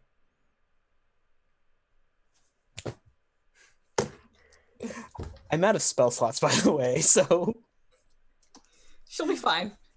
She can handle herself. I'm not worried. Are you worried? I'm a little worried. I'm gonna get this bitch a sending stone. You're gonna call me every day. I mean, in four days we're gonna bamf right to her. So whatever mess she's in. No, you're so the trip other would have taken 14 days total. You were in taking four less days four than it would have, we're Yes. gonna bamf right to her. So That if one. whatever's happening is going on for longer than two weeks. we teleport onto the wreckage of the. Oh. Sorry. No, it's all right. I like this plan. Stop. all right, so uh you managed uh both of the elves end up going through their resting period uh, as part of getting ready. So there is a four-hour period where Arjan, you, and Gwen are are doing the best that you can to prepare for the situation. That would involve picking up extra bolts for your crossbow, uh, which I wanted to uh, prop more properly describe previously. I had uh, explained that it looked like more of an X on the front of the bow, uh, but it is uh, just that the bows are actually more like two C's next to each other, and it is two barrels side by side on the front end of the crossbow rather than being uh, one on top, one on bottom. Okay. So it looks like an X form, but it is still able to fire with the string only being attached to one. It's a double barrel. Yeah, it's a double barrel crossbow. Okay. Um, and Arjan's actually gonna have it out uh, for a little bit of this. Um, and he is going to do something I hasn't done in a little bit too long, which is draw a ritual circle. He's going to uh, bite his finger and uh, draw a a circle with a five pointed star. Um, Uh, what what are you doing? He's going to lay the crossbow on top of it. And he is just going to uh, sit there in a slightly meditative pose. I'm And- guarding the door. Um, the the circles uh, on the five points of the star ignite in five different colors of flame, and the bow itself uh, is consumed by this fire, and there is no trace of the circle left or the bow. Hmm. Some magic bullshit. That seemed a little demonic, if I'm gonna be honest. What was that? Uh, infernal, not well, draconic, not demonic. Oh. Uh, he's going to raise his hand, and in a burst of uh, prismatic fire, the crossbow reappears in his hand. Ah. Oh. Well, that's handy. And then he will dismiss it again in about a fire.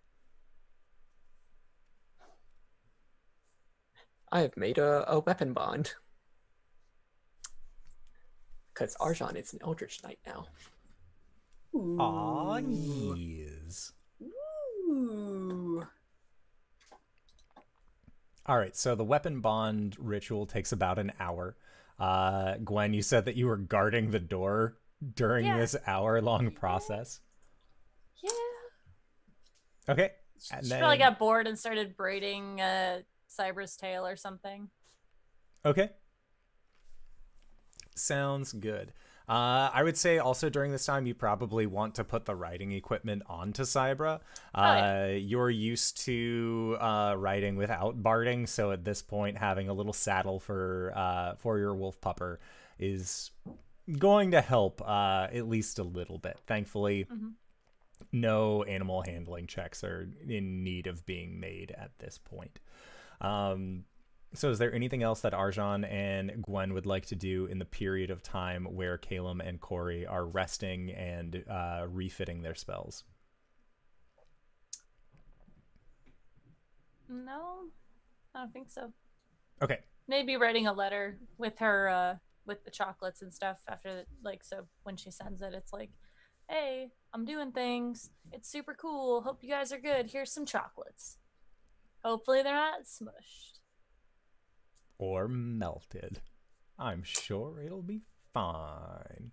So, uh, you managed to get a hold of um, get a hold of these chocolates, write out this letter, find a courier uh, who is willing to then take them out to uh, out to Greenreach.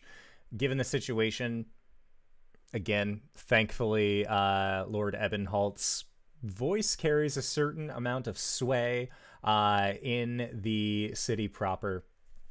And uh, the courier agrees to do this for you on behalf of uh, on behalf of the king's word uh, or the lord's word at this point. Uh, after four hours Cori you end up coming to from your uh, meditation that was the word i was looking for and Caelum you also end up uh, coming to from your meditation and your group is ready to go. So, It is Arjan on Rumble Thunder, Gwen on Cybra, and Cori and Caelum on Ampleforth. And together, your group makes their way back out of Sertzellier. Uh, and along the way, you are are are pretty glad that uh, you didn't try and look for a horse here, uh, as there aren't any horse merchants in Sertzellier, this being a completely underground city. Uh, you saw a lot of beetle wranglers trying to sell you uh, a, as fine a steed as there ever was one. Uh, it looks like riding beetles are actually the primary mode of transportation here underneath the mountain. Uh, but seeing as how you are going to be going back out onto the plains, it's it's you're rather glad that you didn't buy a beetle.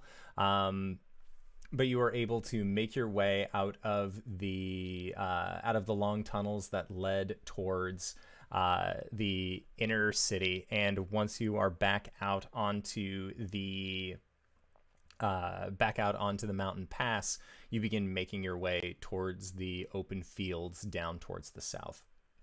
You get uh, several hours down there and make your way uh, mostly down this mountain pass, but then it is time uh, at least for Gwen and Arjan, who had not had a four hour rest in the late afternoon, uh, that had, you, Rumble Thunder, Cybra, uh, all have to kind of take a moment to uh, at least catch some, catch some shut eye, leaving Cori, Caelum, and Tikan the uh, small wooded familiar to stay on watch over the evening. Uh, so while Arjan, you and Gwen end up getting some shut eye, uh, Cori and Caelum, is there anything that the two of you would like to do during this time? Ampleforth seems like they could run forever being this this fey creature of the wilds themselves, Ampleforth doesn't seem to have the same kind of uh, sleep requirement when running as uh, Ampleforth or uh, that Rumble Thunder does as a large beast, or that Cybra does as a as a doggo. Who, while doggos love running as fast as they can, they get tired. And at this point, Cybra is eating on some snow uh, to kind of like get water as well as just enjoy a nice little bit of a cool down before uh, she eventually curls up between Arjan and Gwen uh, and goes to sleep.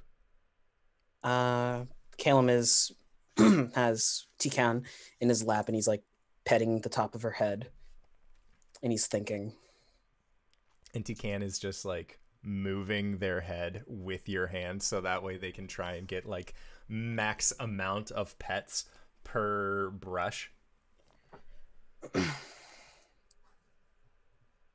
Whatever is gonna come up, I want to be ready for it. He says to Cori. And Cori, Caelum is just like petting the head of this little wooden marionette figure that again has a stationary mask that always has this small smile uh, with painted lips on it that's just like looking towards you. In what regard? I don't know. Um, maybe I can make something to better take a hit or help you guys out. I have an idea for something. Do you? I don't know if it'll work. And he's gonna set Tikan down, go into his bag and pull out a bunch of writing supplies. uh, materials, and he's gonna step like 60 feet away from the camp, but is still within eyesight. Tikan will follow you. Oh no, hold on. You just can't you could you sit over there please just for my own peace of mind?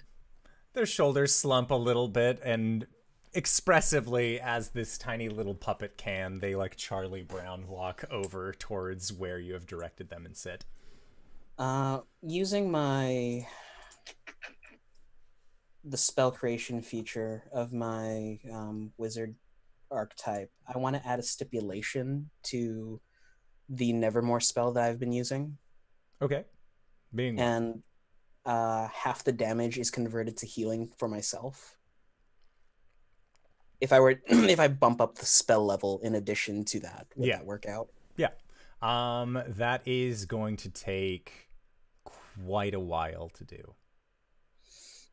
Could I, over the course of the next couple of days, Over the next couple of days, yeah, for sure.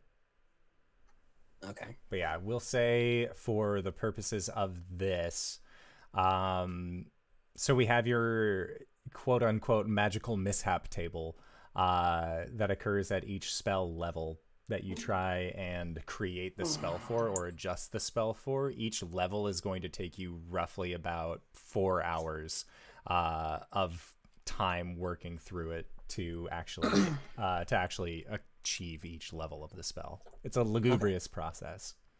Cool, cool, cool. So right now, um, there's the flourish of the self-writing quill as Caelum like starts directing it and writing the runes down. Eh, plus Arcana 18 on the first roll for tonight. Success. Uh, parchment flutters down. He grabs it. He looks it over and walks back to Cori. It's a start. It's really remarkable the things that you can do. Well, it's still learning how to use all of them, so don't get too impressed yet. At least you're not exploding into flumps. Cori, I have a question. Caelum's spell process took roughly half of your watch. What were you doing during that time? Um, watching him, uh, probably keeping an eye out for danger, um, and also, uh, probably reach over, grab Takan, and place uh them on her knee as she's sitting just kind of cross-legged on the ground. And as you're sitting cross-legged and Tikan is watching Caelum, eventually you'll see them just like with their head crocked up looking towards you. And they can't communicate with you at all.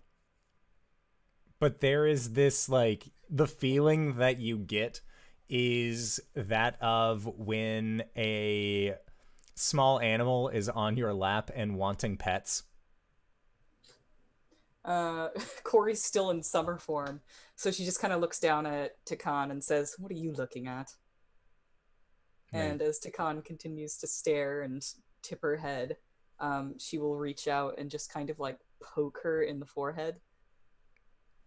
And you see uh, the the small cloak that they have that's made of what look like raven feathers just sort of like f- furls a little bit. Like the hackles are raised as you poke them in the forehead and they tip back and like little hands come out and straighten themselves and then sit forward and just look up at you. And they uh, extend their feet out and try and hop down from your leg She'll let her go. And Tucan goes back over to where uh, Caelum had directed them, and they just sit down in the snow uh, and wait. Oh, And Ampleforth will come up next to Coriander and she'll lean against him. Tucan is sad. Oh no. She had no one. Okay, Uh, if Tikan is sad, then Coriander. it's hard to up. Cori. It's hard to see if Tucan is sad, mostly because again, their mask is always in a slight smile. Mm-hmm. but she's got like really uh Expressive body language, yes. if she if she is sad, uh then Cori will like make a big like begrudging show of like getting up and like leading Ampleforth over and then like sitting on one side of Tikan, Ampleforth's on the other.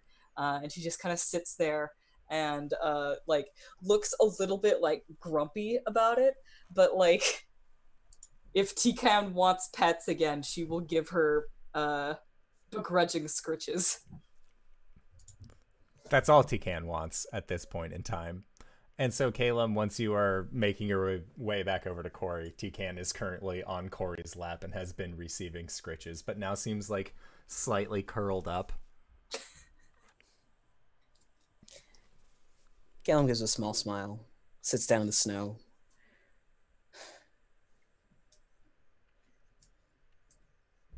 Well, that's step one. Hopefully, nothing bad happens in the next couple of days.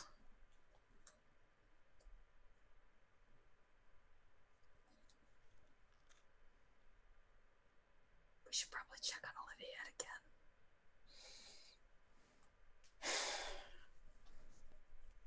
Hi, Olivia.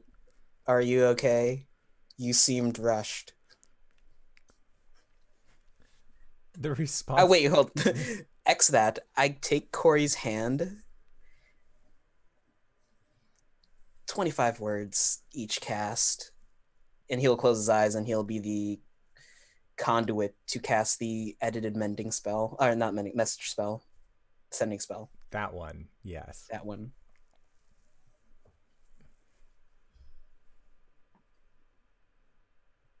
Hi, dear. Things have been crazy. Are you all right? Love Coriander. Caleb looks over to her. You have 25 words. I don't know what to say.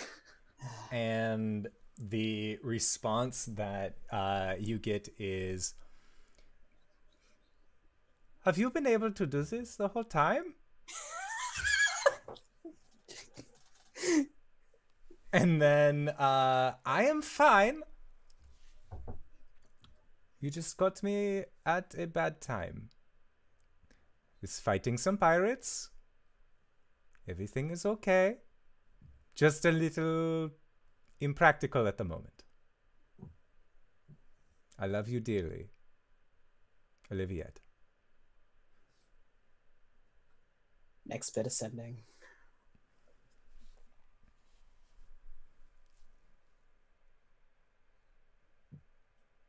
Do you wish to continue, Cori? Can she? I could I could blow another spell slot, yeah. Uh, was Caleb able to hear that? Um, I don't believe for the edited sending that Caelum is able to. He's just a magical conduit. He could feel the response come back, but he could like to know that the spell was received, but not what it says. I feel like the first time Cori speaks it, like uses uh, the sending spell through him, she says it out loud, Oh yeah. so he's able Oh, to track it. Yeah. You can also just think it. I I knew that. I didn't I didn't know that. Uh she looks down at her hands for a second and she just kind of gives Hand. him a look and says one more. Sent. Um she says I love you too, Oliviette. I love you so much. We'll see you soon.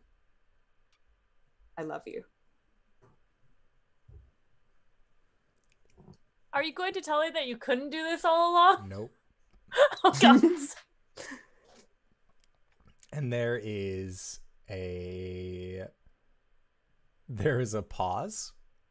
It is not as immediate this time uh coming back. And Oliviette says, I hope everything is all right. I hope that you are okay. And I hope your friends are okay. I love you too. And that's it.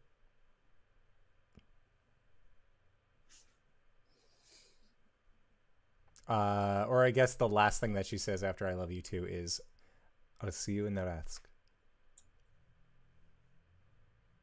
She sounds a little down.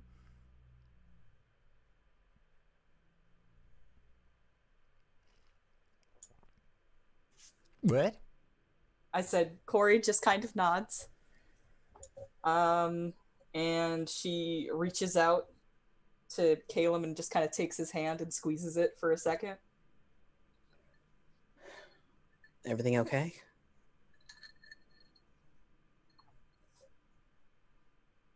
She will nod curtly. Good. Um, good. We continue our watch. Okay. The watch goes by uneventfully. Thankfully.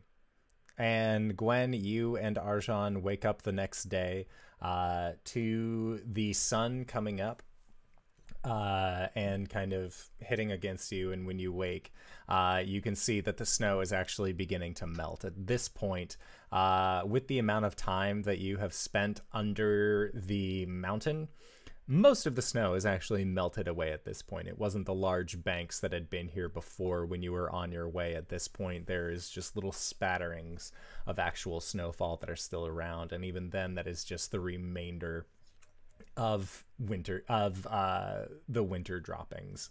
Um, and God damn it, LP. Uh, and at this point, uh, you are all able to then gather your things and uh, without if you unless there's anything that you would like to do come morning uh, you can then begin heading out There is. Uh, this is the first time in a month we're waking up like under the under, the actual like air.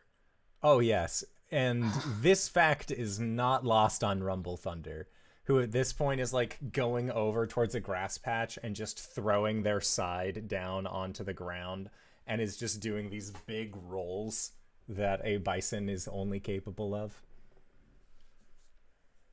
I want to stretch my wings. Okay. So, Gwen, you are in the process of waking up. Coffee is getting made at this point, and I feel like you are still in a drowsy state. Caelum, you and Cori are finishing up, kind of getting everything ready in the morning. And you see Arjan extend his wings. This is the first time that you have seen Arjan have control over them he's had some sort of control before when using uh, Misty Step like abilities, but this definitely seems more like when you see a bird raise up its wings or a bat extend out their wings. Like it is much more of a. Uh, it is much more of a show of dominance against the sky, it seems like. Oh shit. Looking good there, Arjan. Caleb's or Caleb, God, Cori's just kind of standing there like stoically, uh, arm crossed over her chest, and just kind of under her breath to Caleb says, "Did you prepare Featherfall today?"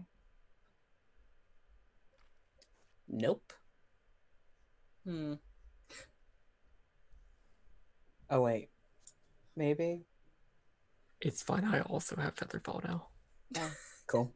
Nope. This is going to be interesting. Uh.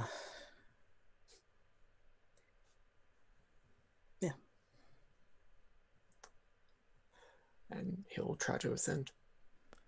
and it is one of the stranger feelings that you have received over the last month. There is a moment where, as your wings stretch, you are. Part of you is reclaimed by a muscle memory that you've never had before. It is just instinct that uh, lets you know how to do this thing. Your uh, digitigrade legs bend, and the uh, and with that, your wings kind of uh, fold uh, again, kind of extend outward. And as you jump up and release in a spring-like motion, those wings beat down against the ground, and you begin to ascend and with a controlled motion that you have only ever practiced when not in your own state. uh, only when Tarlean had originally taken control uh, after you had died on the boat. You begin to soar. This is not a moment of a fledgling's initial journey. This is your body instinctively knowing and claiming the sky as its own as your wings beat. What is going through Arjan's? Uh, how is Arjan feeling at this point? I guess he he is just like thinking he's he's trying to think through this like everything that's going on just like how do i know to do this hell but also he's just like man it's great to not be uh underground anymore. And that that's mainly what's on his mind. It's just like oh my god fresh air.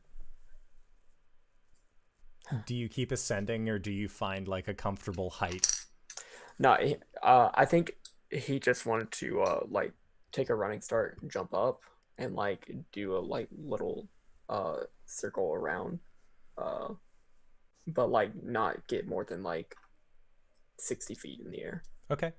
And it's weird because like you can feel your tail twitching ever so slightly to help act as a more uh to help kind of direct where your wing uh where your body is going in conjunction with your wings. It's not a feeling that you've ever like had to do before, but it is again, this is a very natural feeling for you.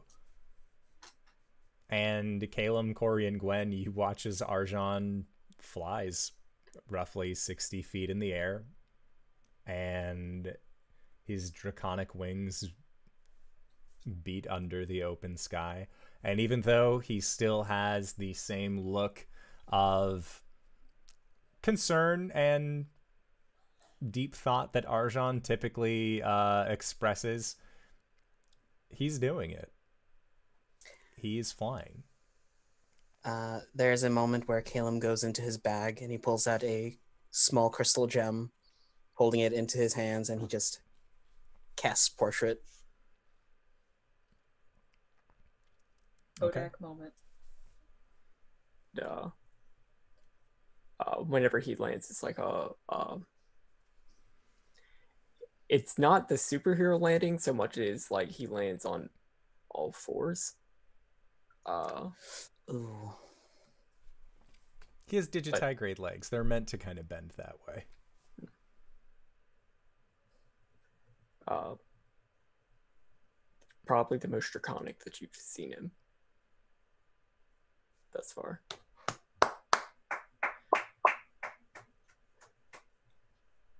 Do a Okay. backflip. Why does No. everyone say that? no i i okay so that that worked Cori has a very stern look on her face. She walks up to Arjan and uh, she claps a hand on his shoulder and says, You were fucking gorgeous. I, um, thank you Claps him on the back again.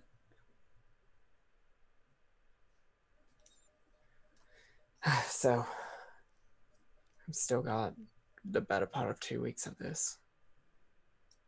Yep. Life on the road.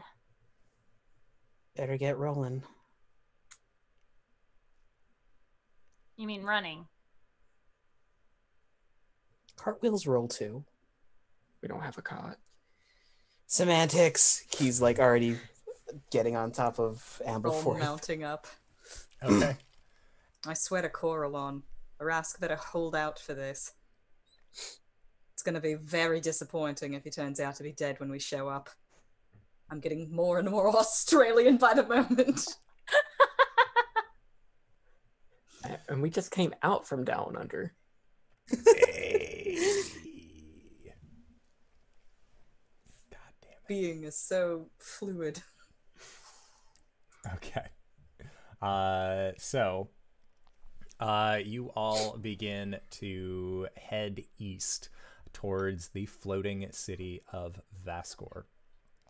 As you are heading out, uh, it is going to take roughly 10 days travel at this point. Uh, is there anything in particular that you would like to explicitly do over this 10 days travel? Caleb, I know that you are in the process of making your new spell. Uh, so, uh, Nevermore was third level. Uh, Nevermore was inflict wounds, so Okay. it's just first level. a first level spell. So if it is also giving you health back, um, I would say that would probably be either a third or a fourth level spell. Uh, if I were just, uh, because then I also want to increase the damage to keep it. Well, no, half. If you're increasing the damage as well, that would be closer to around a fifth level spell. I'll keep it to the. what's it? So third level does a six and twenty-two. So 22 is fine? okay. Yep, that's it for the. Uh, are we just gonna keep rolling? It's a. It only takes four hours, so if you spend some extra time, Okay, cool. Next one's a nineteen. Six is twenty-five. Okay. Yeah, so you are able to uh, you are able to create this spell over your journey. Uh, I know that previously, uh, I believe in Nights in the Courtyard last week, you had specified that you wanted to send out uh, a slew of sending spells. Uh, is there anyone that you would uh, anyone else that you would like to reach out to during this time? It's basically just like checking up on Gwen's parents, checking up on. Uh, drafts, uh, dragons and drafts, uh, checking up on Farron, to see what's going on. Okay. Uh, Farron lets you know that uh, they only have a few days left until they end up getting to Gillet. Lady Yep. Galay. Uh, being just Farron Prescott and Mugwort, uh, they don't have to worry about a cart, much in the same way that your group didn't have to worry about a cart. So it was just those three fuckheads on horseback making their way there. Um, Gwen's family, uh, when you send the message, it is definitely like uh, contacting grandparents via some like form of Skype. They don't know where this message, this sending spell is coming from. They've never been personally sent before. Uh, so a lot of it is uh, when you explain like, "Oh, this is Caleb. How are you?" Checking in. Uh, the response is, "Caleb, Ca- is Gwen there? Can you put Gwen on?" Hello? Caleb Is reaches this out, thing just on? grabs I Gwen's can't hand. see you. Gwen will send a message. I'm Uh, doing magic. it was the end. The last two, and last three words. the last three words of I'm doing magic. And then uh the response is Songbird. She's doing magic. I know. I know. oh my god! I can't believe it. Do you think it's her friend? No, I don't think they're together. Thank you for the money. That was very, and then the message cuts out. Gwen just kind of sitting there, like she would have relayed, like going here. This is what we're doing. Sort like just the the basics of, of what's going on. Everything is good. Sent chocolates. I'm doing magic.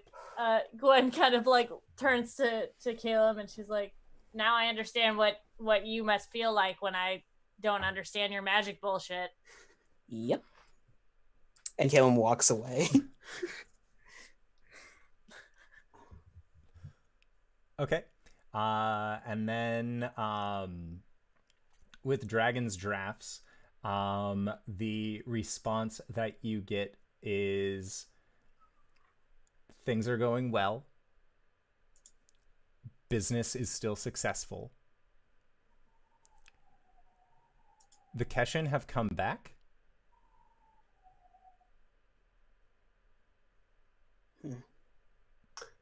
Oh no. Where should we send the next payment? Reports to Arjan. Uh, keep it there. Keep that. Tell, do tell them that we're uh, going to try to stop by uh, Well, well they, they, they, they should prepare for a visit.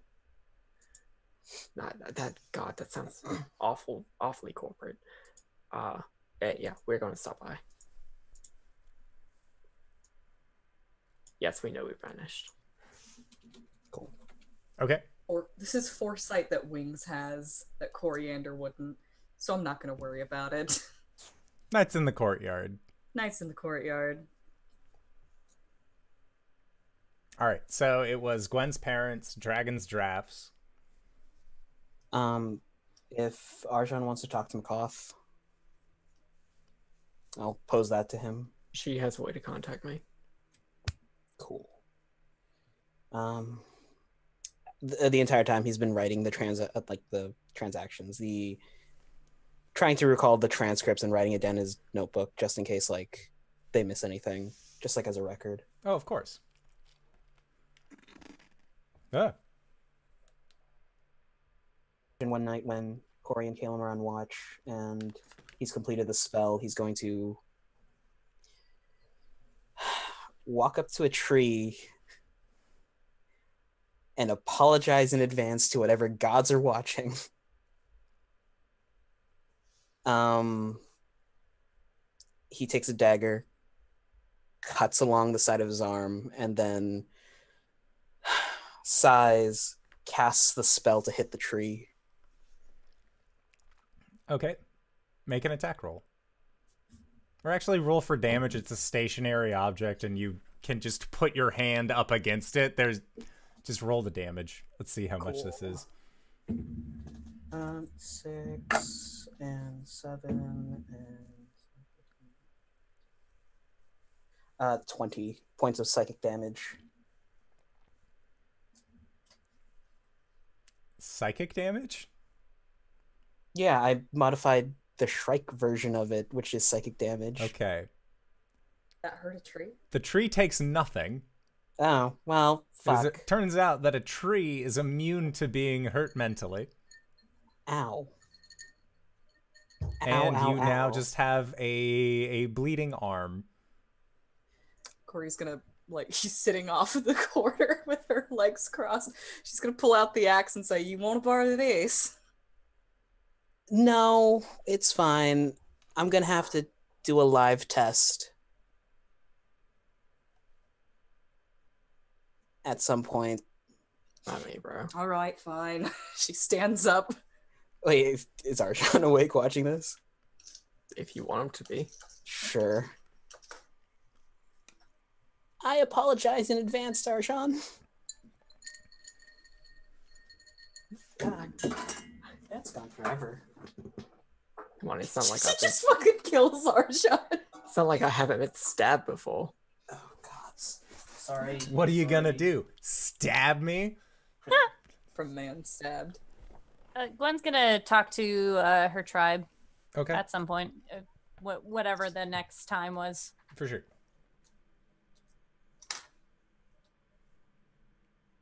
Twenty-one. Yeah, that that hits. Uh, seven plus seven's fourteen. Plus five is nineteen points of psychic damage. Okay. Um, I feel like you've done about eighteen percent. yikes. Cori provides healing. But All right, now hit him again. What is going on? What are you guys doing?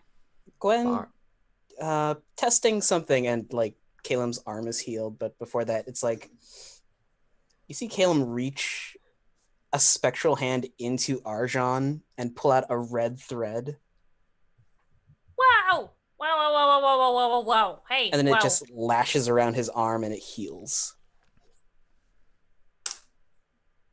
Okay, Nice. we don't hurt friends, right? No, but, no, but we do practice blood magic on the person who knows the most about it. Is that what we're doing now? Is that as a group what we do? We do blood magic. Is that is are we all cool with this, Cori? Also, also, I read that you don't hurt your friends unless it's consensual. Where did you read that? It was in a note. It's fine. He knows my safe word. The camera pans over to the pamphlet that Ghost gave Caleb. Pans back over to the group. I, I think that this is the first time that Cori's really given any amount of attention to Caleb when whilst he's doing uh magic with these red strings, uh like flavor text. Um so like she was all like she was all like uh, in good spirits and just kind of like almost like eh, playfully sadistic about all of this until uh, the point where she saw that and then she just kind of like stared for a bit and then like shook herself out of it uh, and as like all of the winds is out of her sails she's no longer having any fun with any of this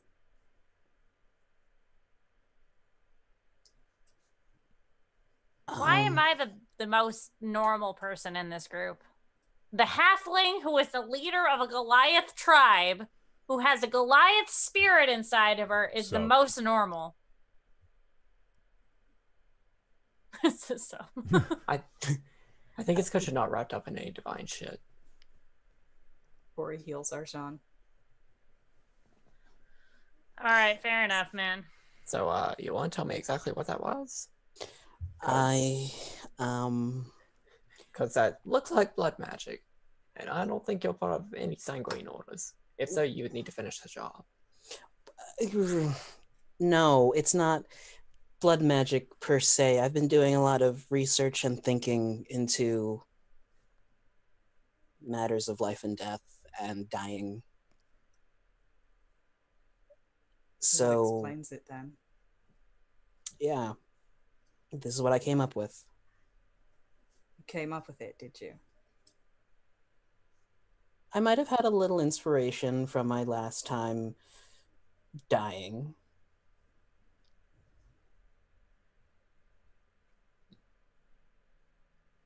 I'm just going to say this once i've seen something like that once before she just kind of holds a hand over where the raven queen ripped her open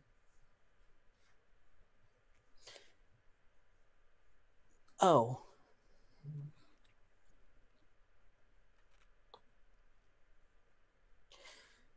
Ugh. Caleb looks very deflated. And He's just gonna walk away from the group but stay within eye shot. You okay, Arjan? Yeah, it really it was nothing. Cori, you okay?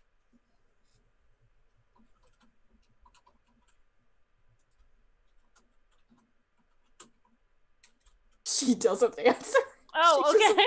she just walks away Walks over to Caleb. So you're uh trying out some new magic stuff now? I mean, I have been for a while, but I've never tried to modify anything I've known in this sort of sense. Yeah, just be conscious that it's uh kind of a something that Cori doesn't feel too fondly about. Right.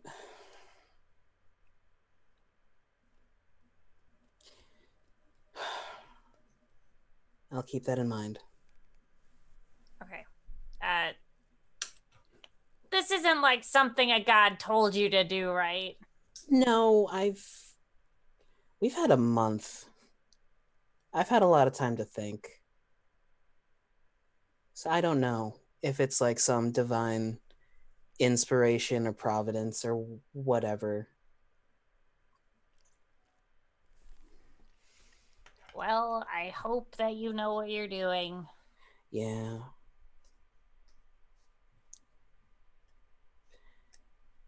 There's another spell, but I. It's not that bad. Why don't we hold off on practicing for another day or two, okay? Yeah, that sounds about right. Yeah.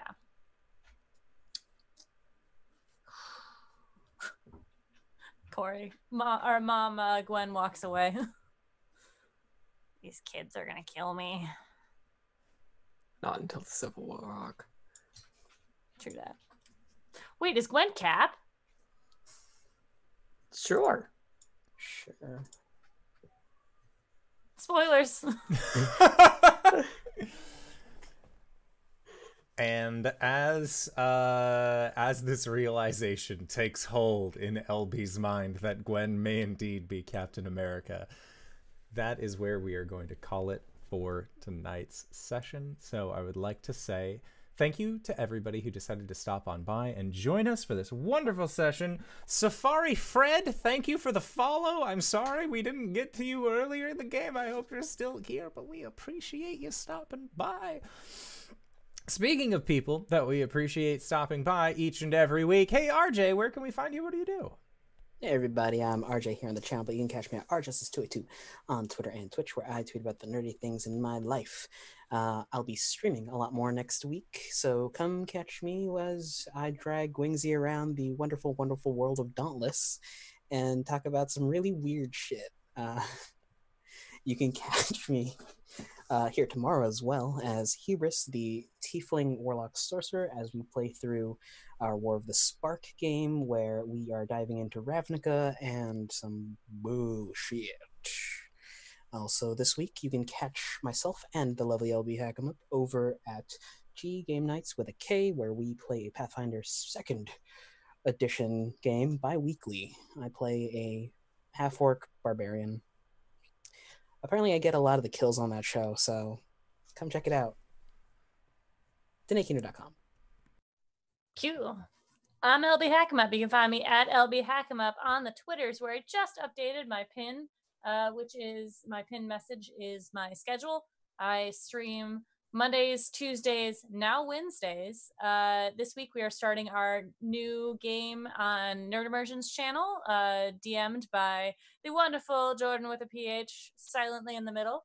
Uh, this week I normally would be on Dammit Barry's channel, but uh, I will be out of town because birthday weekend. Woo! Uh, but I will be on Sunday with RJ, so uh, stop by and say hello. And tomorrow I get to play Ghost, and I'm oh so excited. DanaeKeener.com. Hi, I'm Cyber. You can find me on Twitter at Cybrwulf1201. I I shit post. I talk about whenever I go live on twitch.tv slash Cybrwulf1201, where we're playing through so many video games real badly, but talking about the the lore and stuff and world building, and it's it's good time. I'm doing Castlevania Mirror of Fate now, which is my favorite of the Lord's Shadow. Um, all the archives of that go to YouTube, youtube.com slash several one. Uh, we do also, I also have a podcast with Kyle with Nan where we get drunk, do parkour, and talk about stuff going on in the RPG world. It's called Let's Talk About It. Uh, another episode coming at some point. On like, like and subscribe to get the get the notification. Ding ding ding that bell. Um, for RPG stuff, uh, I'm on DMs Guild. I have a Patreon uh, where I do conversions and design work and stuff. Uh, but for actual plays, I'm here on Mondays as this boy, who is no longer a cleric, uh, and is now a, a fighter.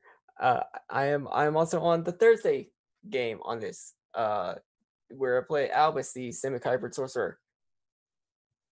Aboleth. I'm also on Pro Restarter channel on Saturdays in a Tal'Dorei 5th edition game where I play Kurik, the shifter druid. Um, Awu. It's a good time. To DanaeKeener.com. Speaking of DanaeKeener.com, hi everybody. I'm Wings, also known as Danae Keener. You can find me at DanaeKeener.com. I do nerdy drawings, mostly related to D&D and a lot of things on this channel. Uh, you can find me here on Mondays, Tuesdays, and sometimes on Wednesdays, just like this week, because we're going to be uh, playing in our Monster Noir game, uh, where Steven is also a player and GB runs, and uh, our very good friends Kaz and Satan come on once a month, and we get to have a very good time with our uh, homebrew game. Like the whole game itself is homebrew, um, and we all have a fantastic time with this noir setting uh, with fantasy monsters and creatures, and oh god, DanaeKeener.com. And if you've made it this far, you probably already know who I am. But if you don't, hey fella, what's up? It's me, your buddy, your pal, your friend, the Indoor Adventurer, the showrunner here at twitch.tv slash indoor adventures. We do shows like this Monday, Tuesday, and Thursday at 5.30 p.m. Pacific Standard Time. Uh, those games, of course, are the ones that we already talked about. We got uh, Homebrew Monday, Ravnica Tuesday for now, and then uh, Monster Noir Wednesday, and then Ghost of Saltmarsh on Thursday. So you can catch us four nights this week uh, playing these uh, excellent games. And I said for now on our Tuesday game because sometime in mid March we are going to be switching uh, that Tuesday game to a Sunday game. Uh, because it works better for the DM schedule, works better for my schedule. So we're going to try that out for at least a little while. Uh, so that way, uh, you know, it's helpful to have a break every once in a while. Uh, and with that, we are going to be going into our Patreon supported after show called Nights in the Courtyard, where we answer questions not only from the community, but also from each other. So if you have had any questions that you would like to ask us, consider checking out our Discord link to the side, or if you are watching this as a VOD, check it out below. Uh, hey, if this is if you're listening in as an audio cast, check the description and there will be a link there promise. Uh, but with that, we are going to be heading into our Patreon after show. So I would like to say once again, thank you to these players for putting up with my bullshit this week. Thank you to everybody who decided to stop on by, and we will see you guys next time. All right, everybody. Bye bye.